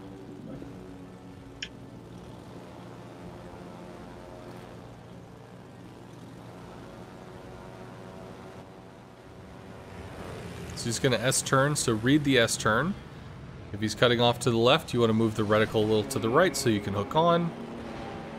So how do you deal with an S-turn? Because we saw that you approached the destroyer and you were a little off to the left or whatever, and then he cut in and it kind of foiled your aim. If you see what looks like an S-turn, you're actually going to put the reticle almost on top of the DD, and then try to read what they're doing. If they're cutting to the one side, you put the reticle on the other so you can hook in. If they start to alter, you try to recover. You want to read the movement as best as possible, and there's not a really... It's down to the skill of the player as to how well they're able to confuse you in terms of where to put your reticle and how to make the drop. But um, it's still something that you have to expect, certainly against a destroyer. Some DDs are just going to hard turn. That's all they're going to do. They're just going to turn to one direction and say, please don't hit me. I, you know, God, give me the strength to just dodge. You know, stuff like that but realistically, you need to, as a carrier player, expect that uh, expect that the jukes are going to come. They could slow down, they could speed up, they could turn left, they could break out of the turn. You need to be at least prepared for that. Tried to recover it.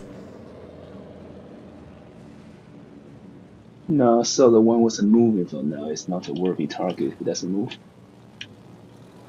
Oh, is he beneath you? well, literally, because you're flying over him, but make it two there. No. Alright, so these are things that you can practice in a training room on your own. Trying to hook in on your own carrier, trying to work on battleships and stuff. These are things that you have the opportunity to make happen.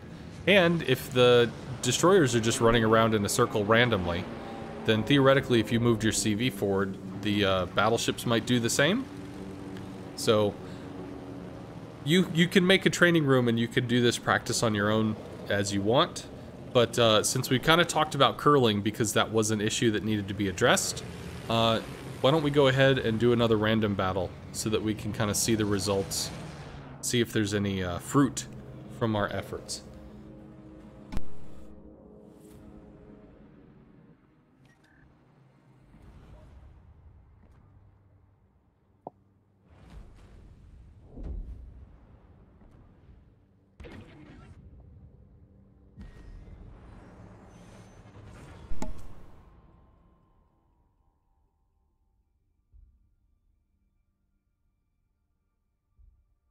By the way, Blue Devil, thank you for the prime.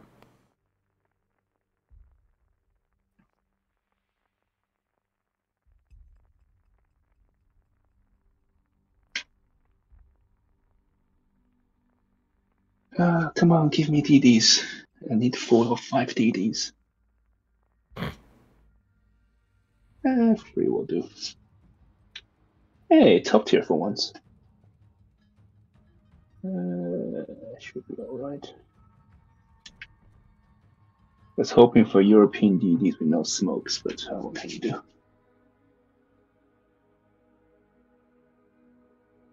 You do the best you can, Light Wraith. Okay, so Uh, Got super pixelated. Can you close your stream and reopen it? Uh,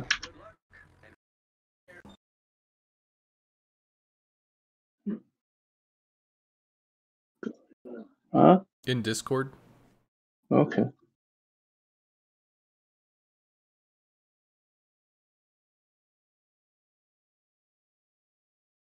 Sometimes just closing it and reopening it kind of allows it to refresh.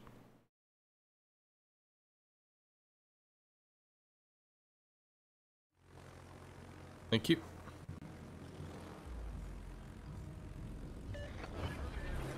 Is it better? Uh, it helped for a few seconds. it there's only so much you can do with Discord, so he's okay. You've got an information fighter down, which is good. You happen to see one of the DDs. Don't worry about striking the Loyang. You still have you still need to get information. Well, it's too late now.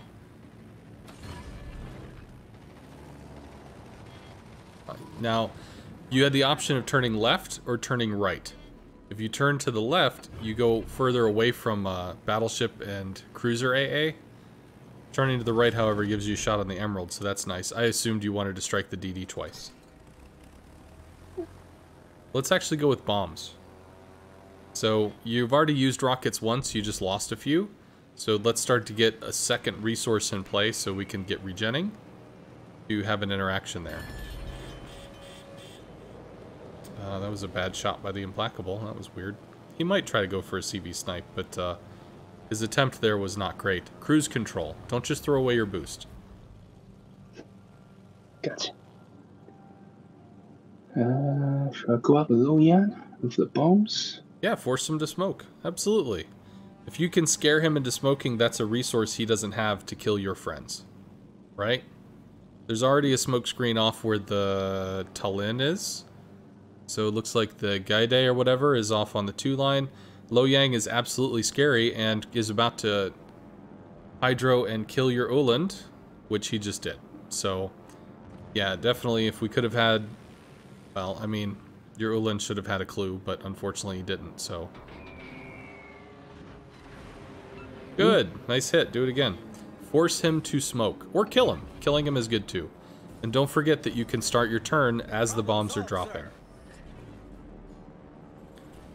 So blind drop and set the uh, set the fighter. He's got his AA off, so as long as he doesn't turn it on, the fighter keeps him penned.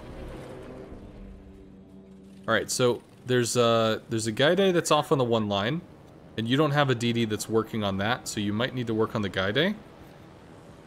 You do have an Anshan, but he's in the smoke screen, not doing anything, really close to his ship, probably waiting to get killed by the Tallinn. So Unfortunately, it sucks as a carrier to have to go after destroyers. Oh, and you're in torps, which means you can't do anything to him. So that's never yeah, mind. So looking at looking at Bismarck. yeah, but okay. But let's ask ourselves, what is what does shooting the Bismarck do here? Do you have anybody else shooting the Bismarck? Has the Bismarck lost any any? Has he taken damage? Looks like he's taken 900 damage. Um, maybe 800. No, you don't torp the Gaide because it's not going to matter. Torp the Bismarck. We're here with torps. Torps can affect the Bismarck. I mean, if you actually do strike the Gaide, that would be hilarious. You might get the middle torp into him. Oh my god, is he dead? Ha! Okay, so it is what it is. He might actually burn out. No, he wouldn't burn out because you wouldn't have lit a fire. But you did kill him with a flood. Congratulations. Cool. Congratulations to you. So we're on the Bismarck, and other people are shooting him now. Now we can strike the Bismarck because he's actually taking shell pressure from other ships. Yeah. I see the Loyang again going after him. But okay, that's fine. Lo Yang is a, is absolutely a threat in uh, in the mid of the match. Also, you want to start moving your carrier. Yeah. However, it looks like y'all are not holding anywhere, so this is really tough. Yen smoked again? You you don't want to run your carrier all the way to the seven line because by the time you get there, you're gonna have a battleship shelling you. You know, so you're moving it to like the five six I five I six J six J five J six. Sucks to run, but your left flank isn't holding. Your right flank isn't holding, so you're just gonna get overrun. It sucks. Oh good, he's killing your sub now. How amazing. Jesus. No, you need to lead more. You gotta hit, but be aware that they can, uh, a, de a destroyer can lurch forward.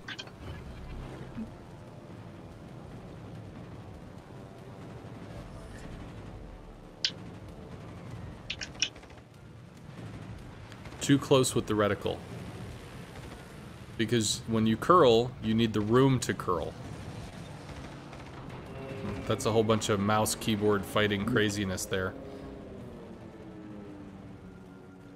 You lose a plane before you drop. You just drop with a single plane. You're wasting time. Ah, he's going smoke. That is good, though. Getting him to burn a consumable is good. So in that sense, it was very good that you stayed. You need to work on the? Bismarck on the 8 line, because you need room to Yeah. run. Oops. Oh my god. Come on, stupid planes.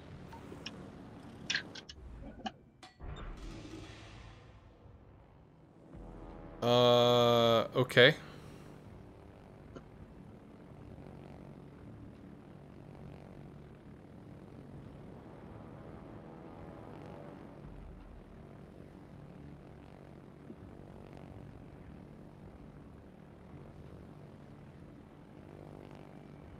So right now, the Bismarck has no shell pressure. So he's going to go where he wants to go, which is toward the center cap and toward the other battleships that he wants to shoot. So, as long as you recognize where the Bismarck wants to go, you can approach from the side. Um, you save your heal until that plane latches, which should be very soon. Three, two, one, heal. Heal now to heal through the fighter damage.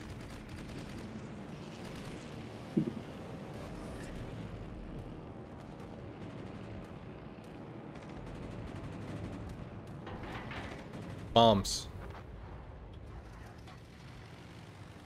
Because without having shell pressure on a Bismarck, he can turn however the hell he wants. And it's going to be very hard to land torpedoes when a ship can turn however the hell they want. As we can see. Two drops, two torps. Could you have dropped better? Yeah, maybe. But the Bismarck can do whatever he wants. There's nobody shooting the Bismarck. So because of that, we have no control to keep him in a position so that we can actually shoot him in the first place, which is why bombs are going to be the better choice because we know how to curl bombs so that even against an evasive target we can still be influential. And it sucks that we're sitting here trying to solo a Bismarck. I mean, it'll be great in terms of damage numbers, but it's extremely low in terms of influence because we're going to spend five and six minutes hitting this dude, not killing him over and over and over again, but there's nobody else here because half your team is dead. Uh, your team went on like a little excursion on the 910 line, which basically just took their guns out of the fight for a while. Now remember, when you're curling, you want to... There's that starboard to port interaction, right? Don't turn in too early. You want to you want to go over the midline of the ship so that you can cut in. You're turning in too early.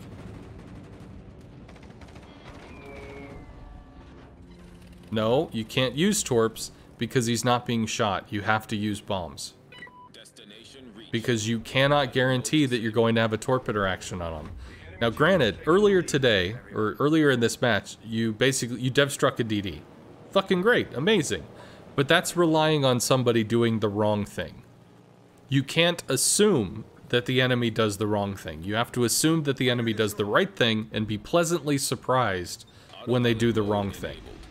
And the Bismarck, by the way that he's played, shows you that he knows how to play against carriers. He's maneuvering actively against you to mitigate the damage, which is going to make it extremely hard to kill him because it's going to drag out the fight. But honestly, there's nothing else for you to interact with other than maybe trying to go after the Lo Yang or something. So, in this case, the Bismarck had a fighter showing, so you could have pre-dropped, but it's too late. It's okay. I don't think there's a way to recover this one, so mostly it's just working on uh, getting getting good interactions.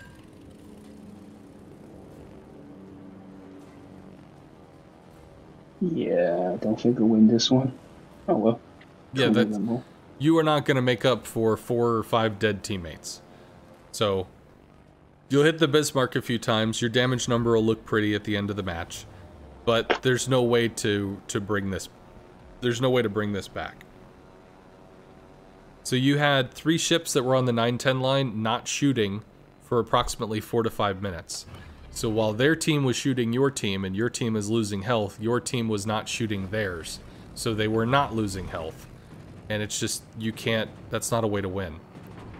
So what do we see here? The Bismarck has nobody shooting him. So the Bismarck turns and does whatever the hell the Bismarck wants, which means he takes a single torp.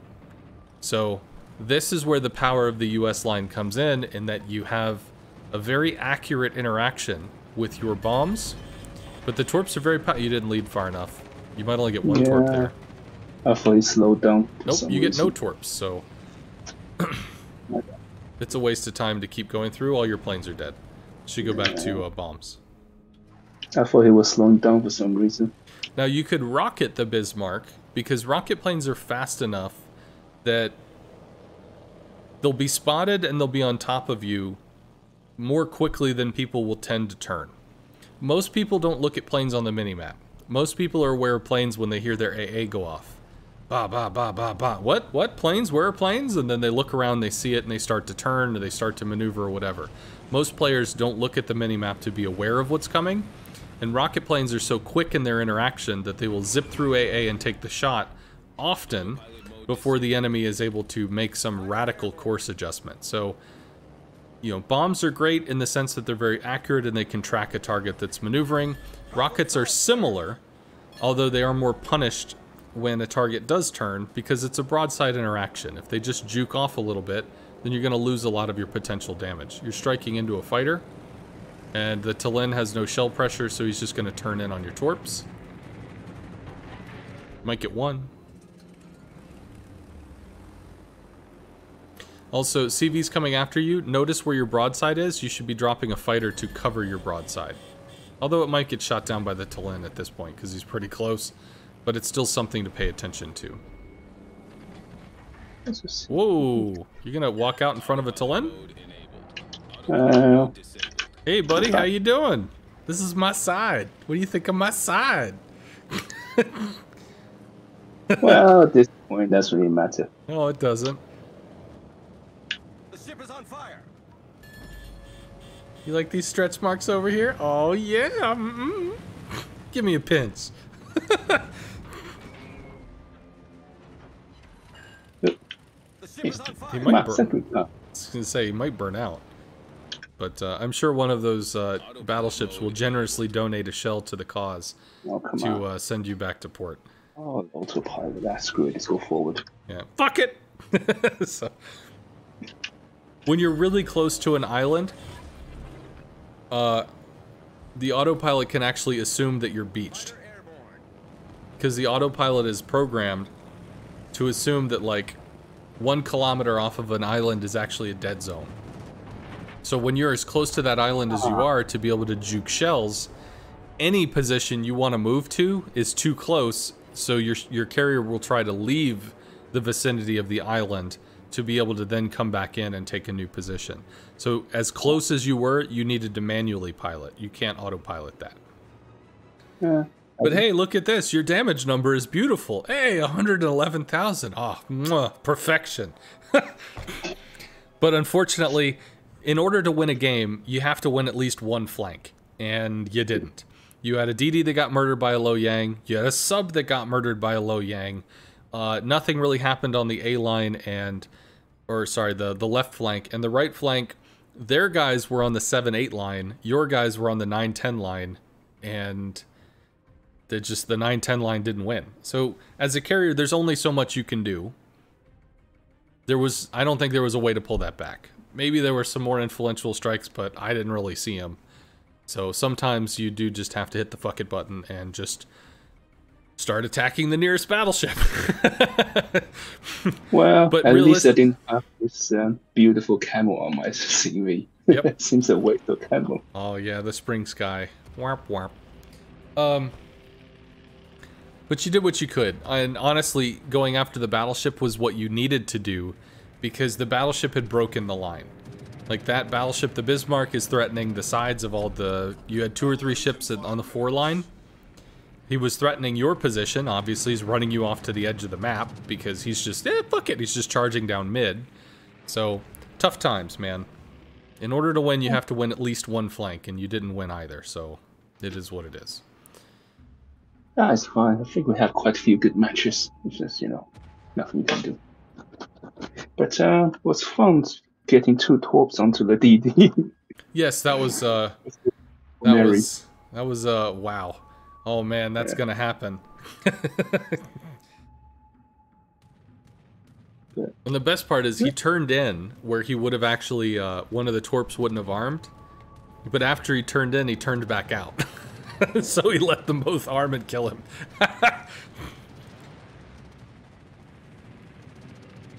oh wow, even the CV's coming. so whoops. Come on, just die already.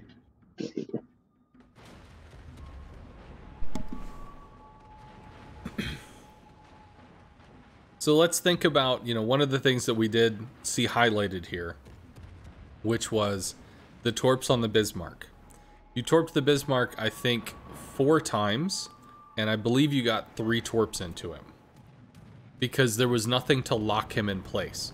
Now, there's, you know, there's the talking point or whatever. CVs create instant crossfires. There's nothing you can do.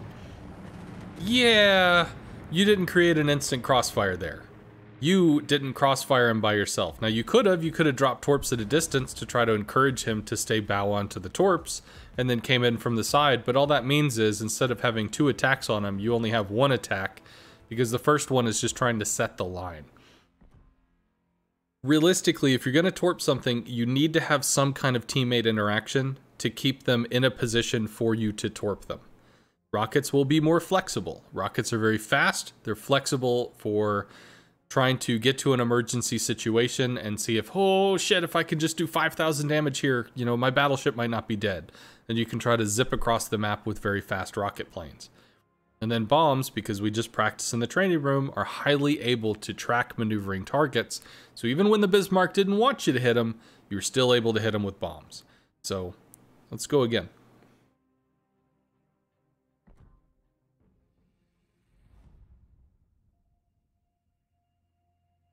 But yes, the dev strike was hilarious.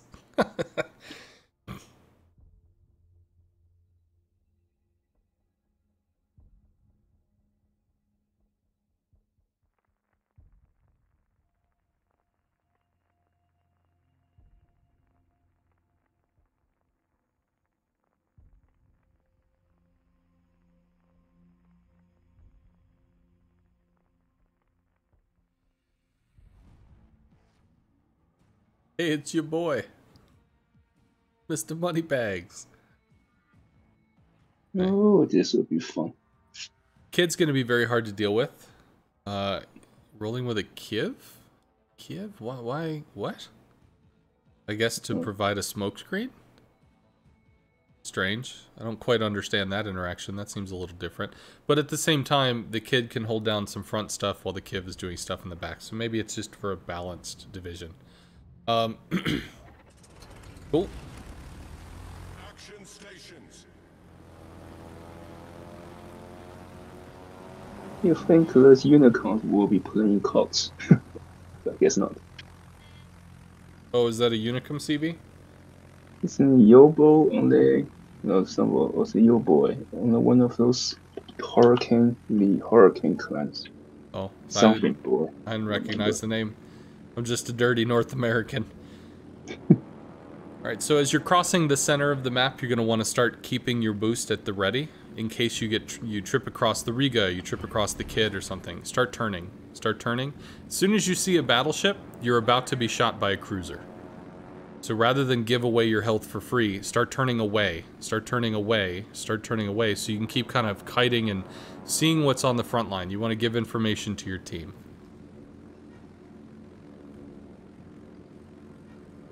So now you're starting to get at the end of your scouting run, you want to start looking for a target. You might just go ahead and uh, pre-drop and then strike, you know, something that you see. But you have an idea of where every, all the assets are and where they're going. So if you could strike the Riga, that would be great, because I don't think that... No, the Riga does have a heal, it's tier 9. But still, it's a good target. So, woo. And don't watch it. Yeehaw. So bombs are the correct choice. Why? Because torps, the US torps are very slow. They require people to lock the target in place, and you don't have that right now, which is why you chose bombs, which is great. Good choice. Like the bomb pick. There is a DD pushing Bravo, so you could help your Bliss, your Whis. Whiskavica? That's, I always say that wrong. I need a soundboard, a soundboard where like I, I finally get the word right and I can just hit the button and it says it for me.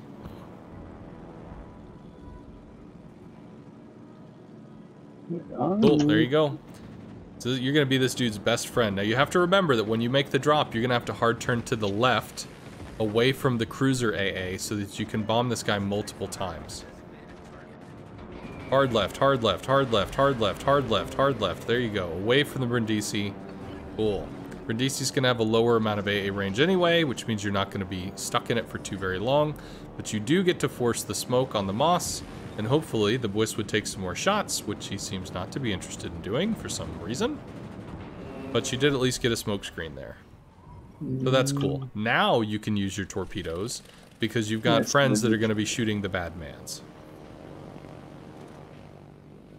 Try to cruise control. Don't just throw away your boost. You can also move up a little bit because their front line really hasn't moved up either. So you could move up about whoa, about half a grid square, maybe. you basically want about a grid square between you, your surface detection and the enemy's front line, so it gives you some room to maneuver. Huh, literally still.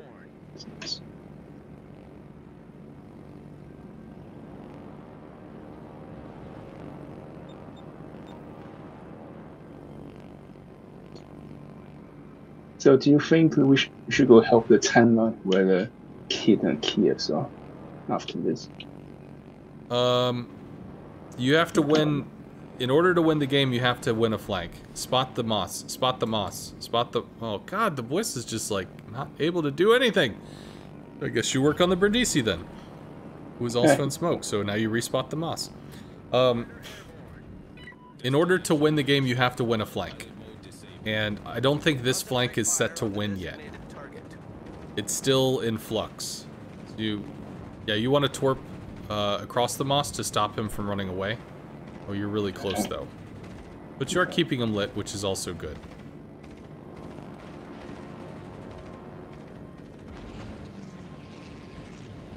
So put if you put hmm, this angle is just going to have him angling away from your torps, but still angling away from your team. If you wanted to torp this, you wanted to torp at an angle that's going to stop his forward fleeing movement to cause him to stay closer to your team so that they can land hits. I think you actually just killed him there. Good. Yep. Work on the other DD, or the Brindisi if you can. Brindisi kills your CAG, so that sucks. Uh, they're still trying to figure out this flank, so... Now, this angle is not good because if he turns to avoid your torps, he's just moving away from your team. But he actually turned the opposite way, so he eats a torp there. Possibly two. Where do you, why do you have DD players like this? why does this exist? All right, cool. Well, he didn't die there because he ultimately decided to turn the correct direction. But like, what? Autopilot mode enabled. This is not reality. No, they're my friend. I just pay them to, you know, to, to make me look good. Okay. So the destroyer is running off. The Z-31 is not a high-impact boat. Uh, it's got excellent guns. Uh, it doesn't have a lot of DPM, but it has extremely accurate guns.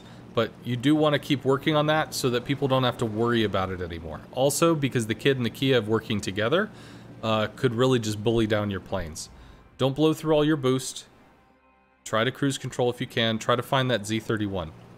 It's probably off to the left more because you got detected early. Go to the left more. Here we go. Our team has taken the lead. Unfortunately, none of your surface ships can take shots here, which is okay. You're to kind of harass him for a little bit. The Bliss actually might have shots soon. Maybe. But after you finish this interaction, you know, and you've kind of given ideas to where he is, you might want to hit F3 on the target just to say, hey guys, there's a thing over here. Cool. Now in this case, you don't actually... Good. Well, now you don't have to worry about it. Now you can recall. I was going to say you don't actually want to bomb again because the DD, your friend, was actually taking shots. And as long as you were able to keep him lit with your last two planes, you'd be giving him that damage interaction. But you killed him, so you don't have to worry about that shit. So, uh, in this case, I don't think Torps are the correct answer because you could rocket a Kiev or rocket the Kidd.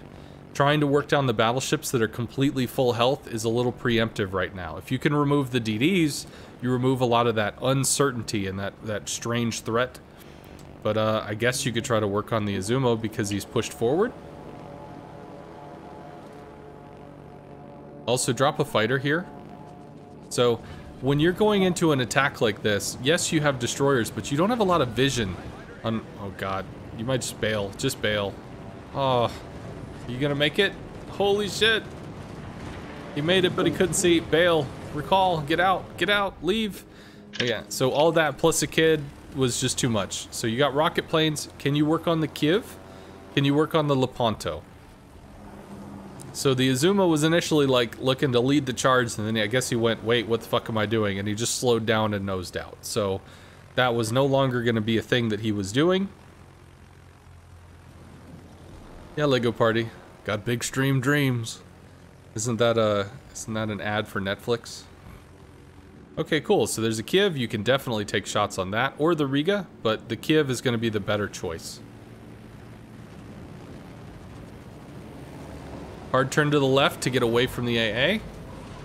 Good moves. Sucks that the shells didn't hit, or the rockets didn't hit, but it is what it is. And let's get a fighter down outside of AA. Let's get a fighter down outside of AA when you can. Obviously, you're committed at this point, so you can't. Oh, don't look for the DD. What are you doing? Oh, that's complete... No.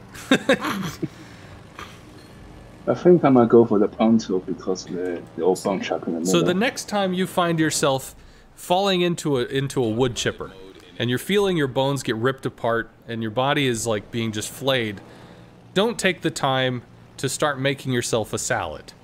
That's not the time to fix yourself a sandwich, to crack open, you know, like open a peanut butter can so that you can start getting some peanut butter on the bread. You need to get yourself out of the wood chipper. so that it's going to take precedence. So don't don't greed for the DD that you can't see while four ships are shooting you in the face. Just yeah. do what you're going to do and be done with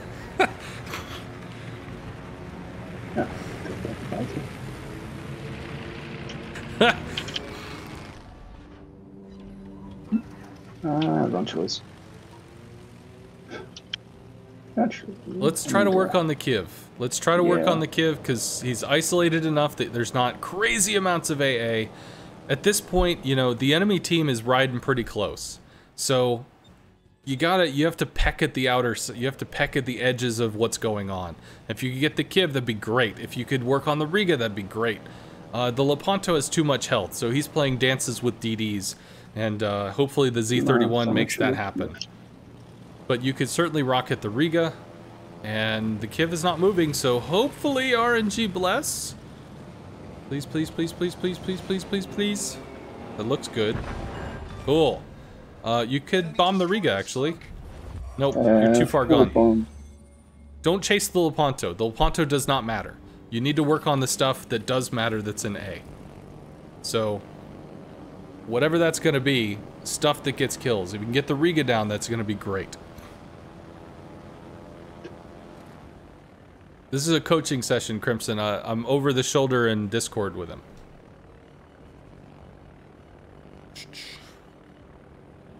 Destination reached. Autopilot mode disabled. So the Riga might come out in the corner. You do have a heal. That's a Musashi, though, so the Musashi's AA is pretty shit. Ideally, you want damage on the Riga, but he's turning out, so you have to strike the Musashi instead. You also need to heal so that your planes get to the target.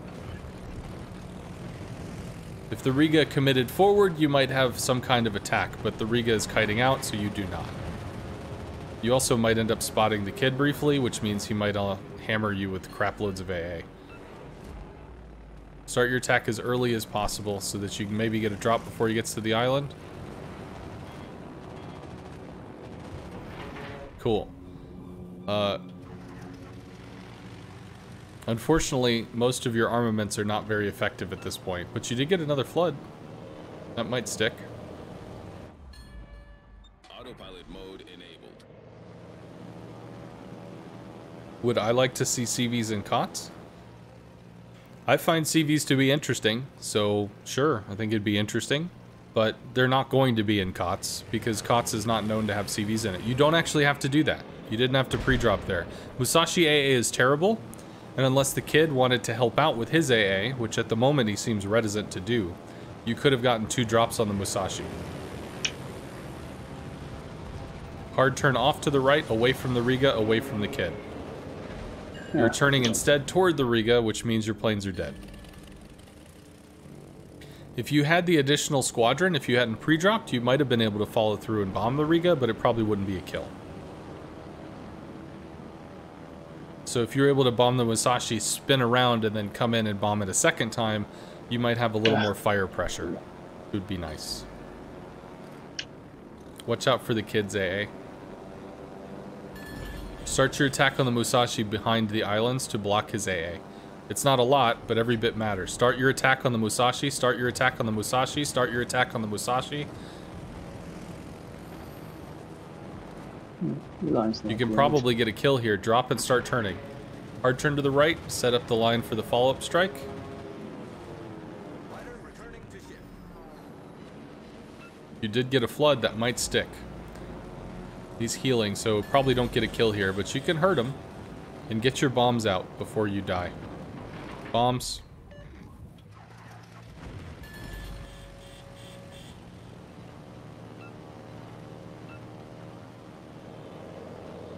Might as well go after Kidd now. It's not gonna Nope. Nope. Don't go for the Kidd. Going for the Kidd's not going to do anything.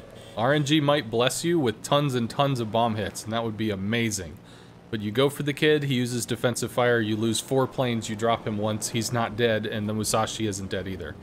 If you strike the Musashi by avoiding this fighter, by avoiding the fighter, by avoiding the fighter. Oh, okay, so these planes are dead. Um, if you strike the Musashi, you could set fires, and I think his damage con was down. Yeah. But at the same time, the Riga had moved up to support, so it's all bad shots at this point.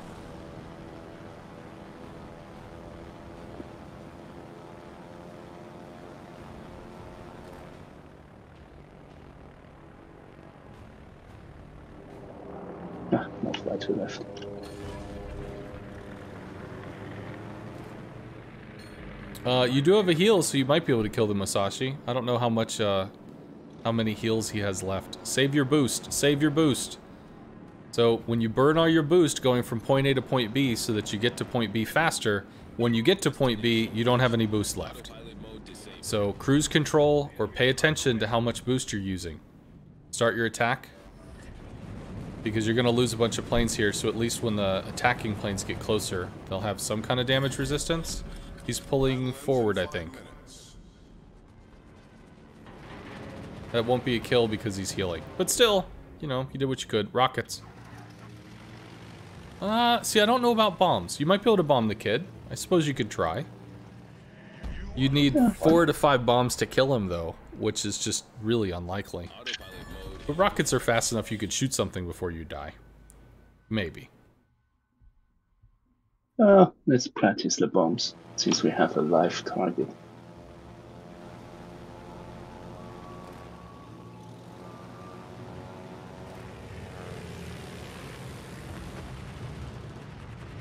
Left more. So when you drop there, he just slides out. You need to read this power slide. You need to read the movement of the ship. So you wanted your reticle to be slightly to the left of where you see it blurrily on the screen. Oh well. Yeah. Yeah, those are purple cleanse. Yeah, I mean, you you had already said like, wait, why aren't they playing KOTS? so, yeah, so they're probably they're gonna know what they're doing. They might be testing out somebody, or it's a friend, or whatever. Um, yeah, so you did what you could do. Uh, you did decisively win the left flank. You got, uh, I think you got a nice bomb kill on the Z31 that was bailing, so that that was pretty cool. Unfortunately, though, your team moved forward to uh, fight the enemy, to take it, you know, take it to the bad guys, and as they did, they got picked off one by one. So, you as a CV are not going to a you can't heal your friends. You can't smoke your friends. So if they're going to charge in and die one at a time, well, that's going to be their choice. So, it's a free country. I can do what I want. Yeah, you do what you want to do.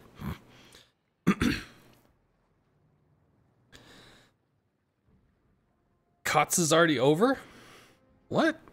Not bad. Then Yo Boy does not need to play in the qualifying round. Oh, there you go. So they're probably seeded. Well, uh, thanks for your time. I think I'm going for dinner now. Grab Okay. something to eat. So uh, yeah, and uh, good luck with your KOTS qualifying stream. Well, yeehaw. All right, man. Thank Well, you for your help. have a good one, sir. Thanks.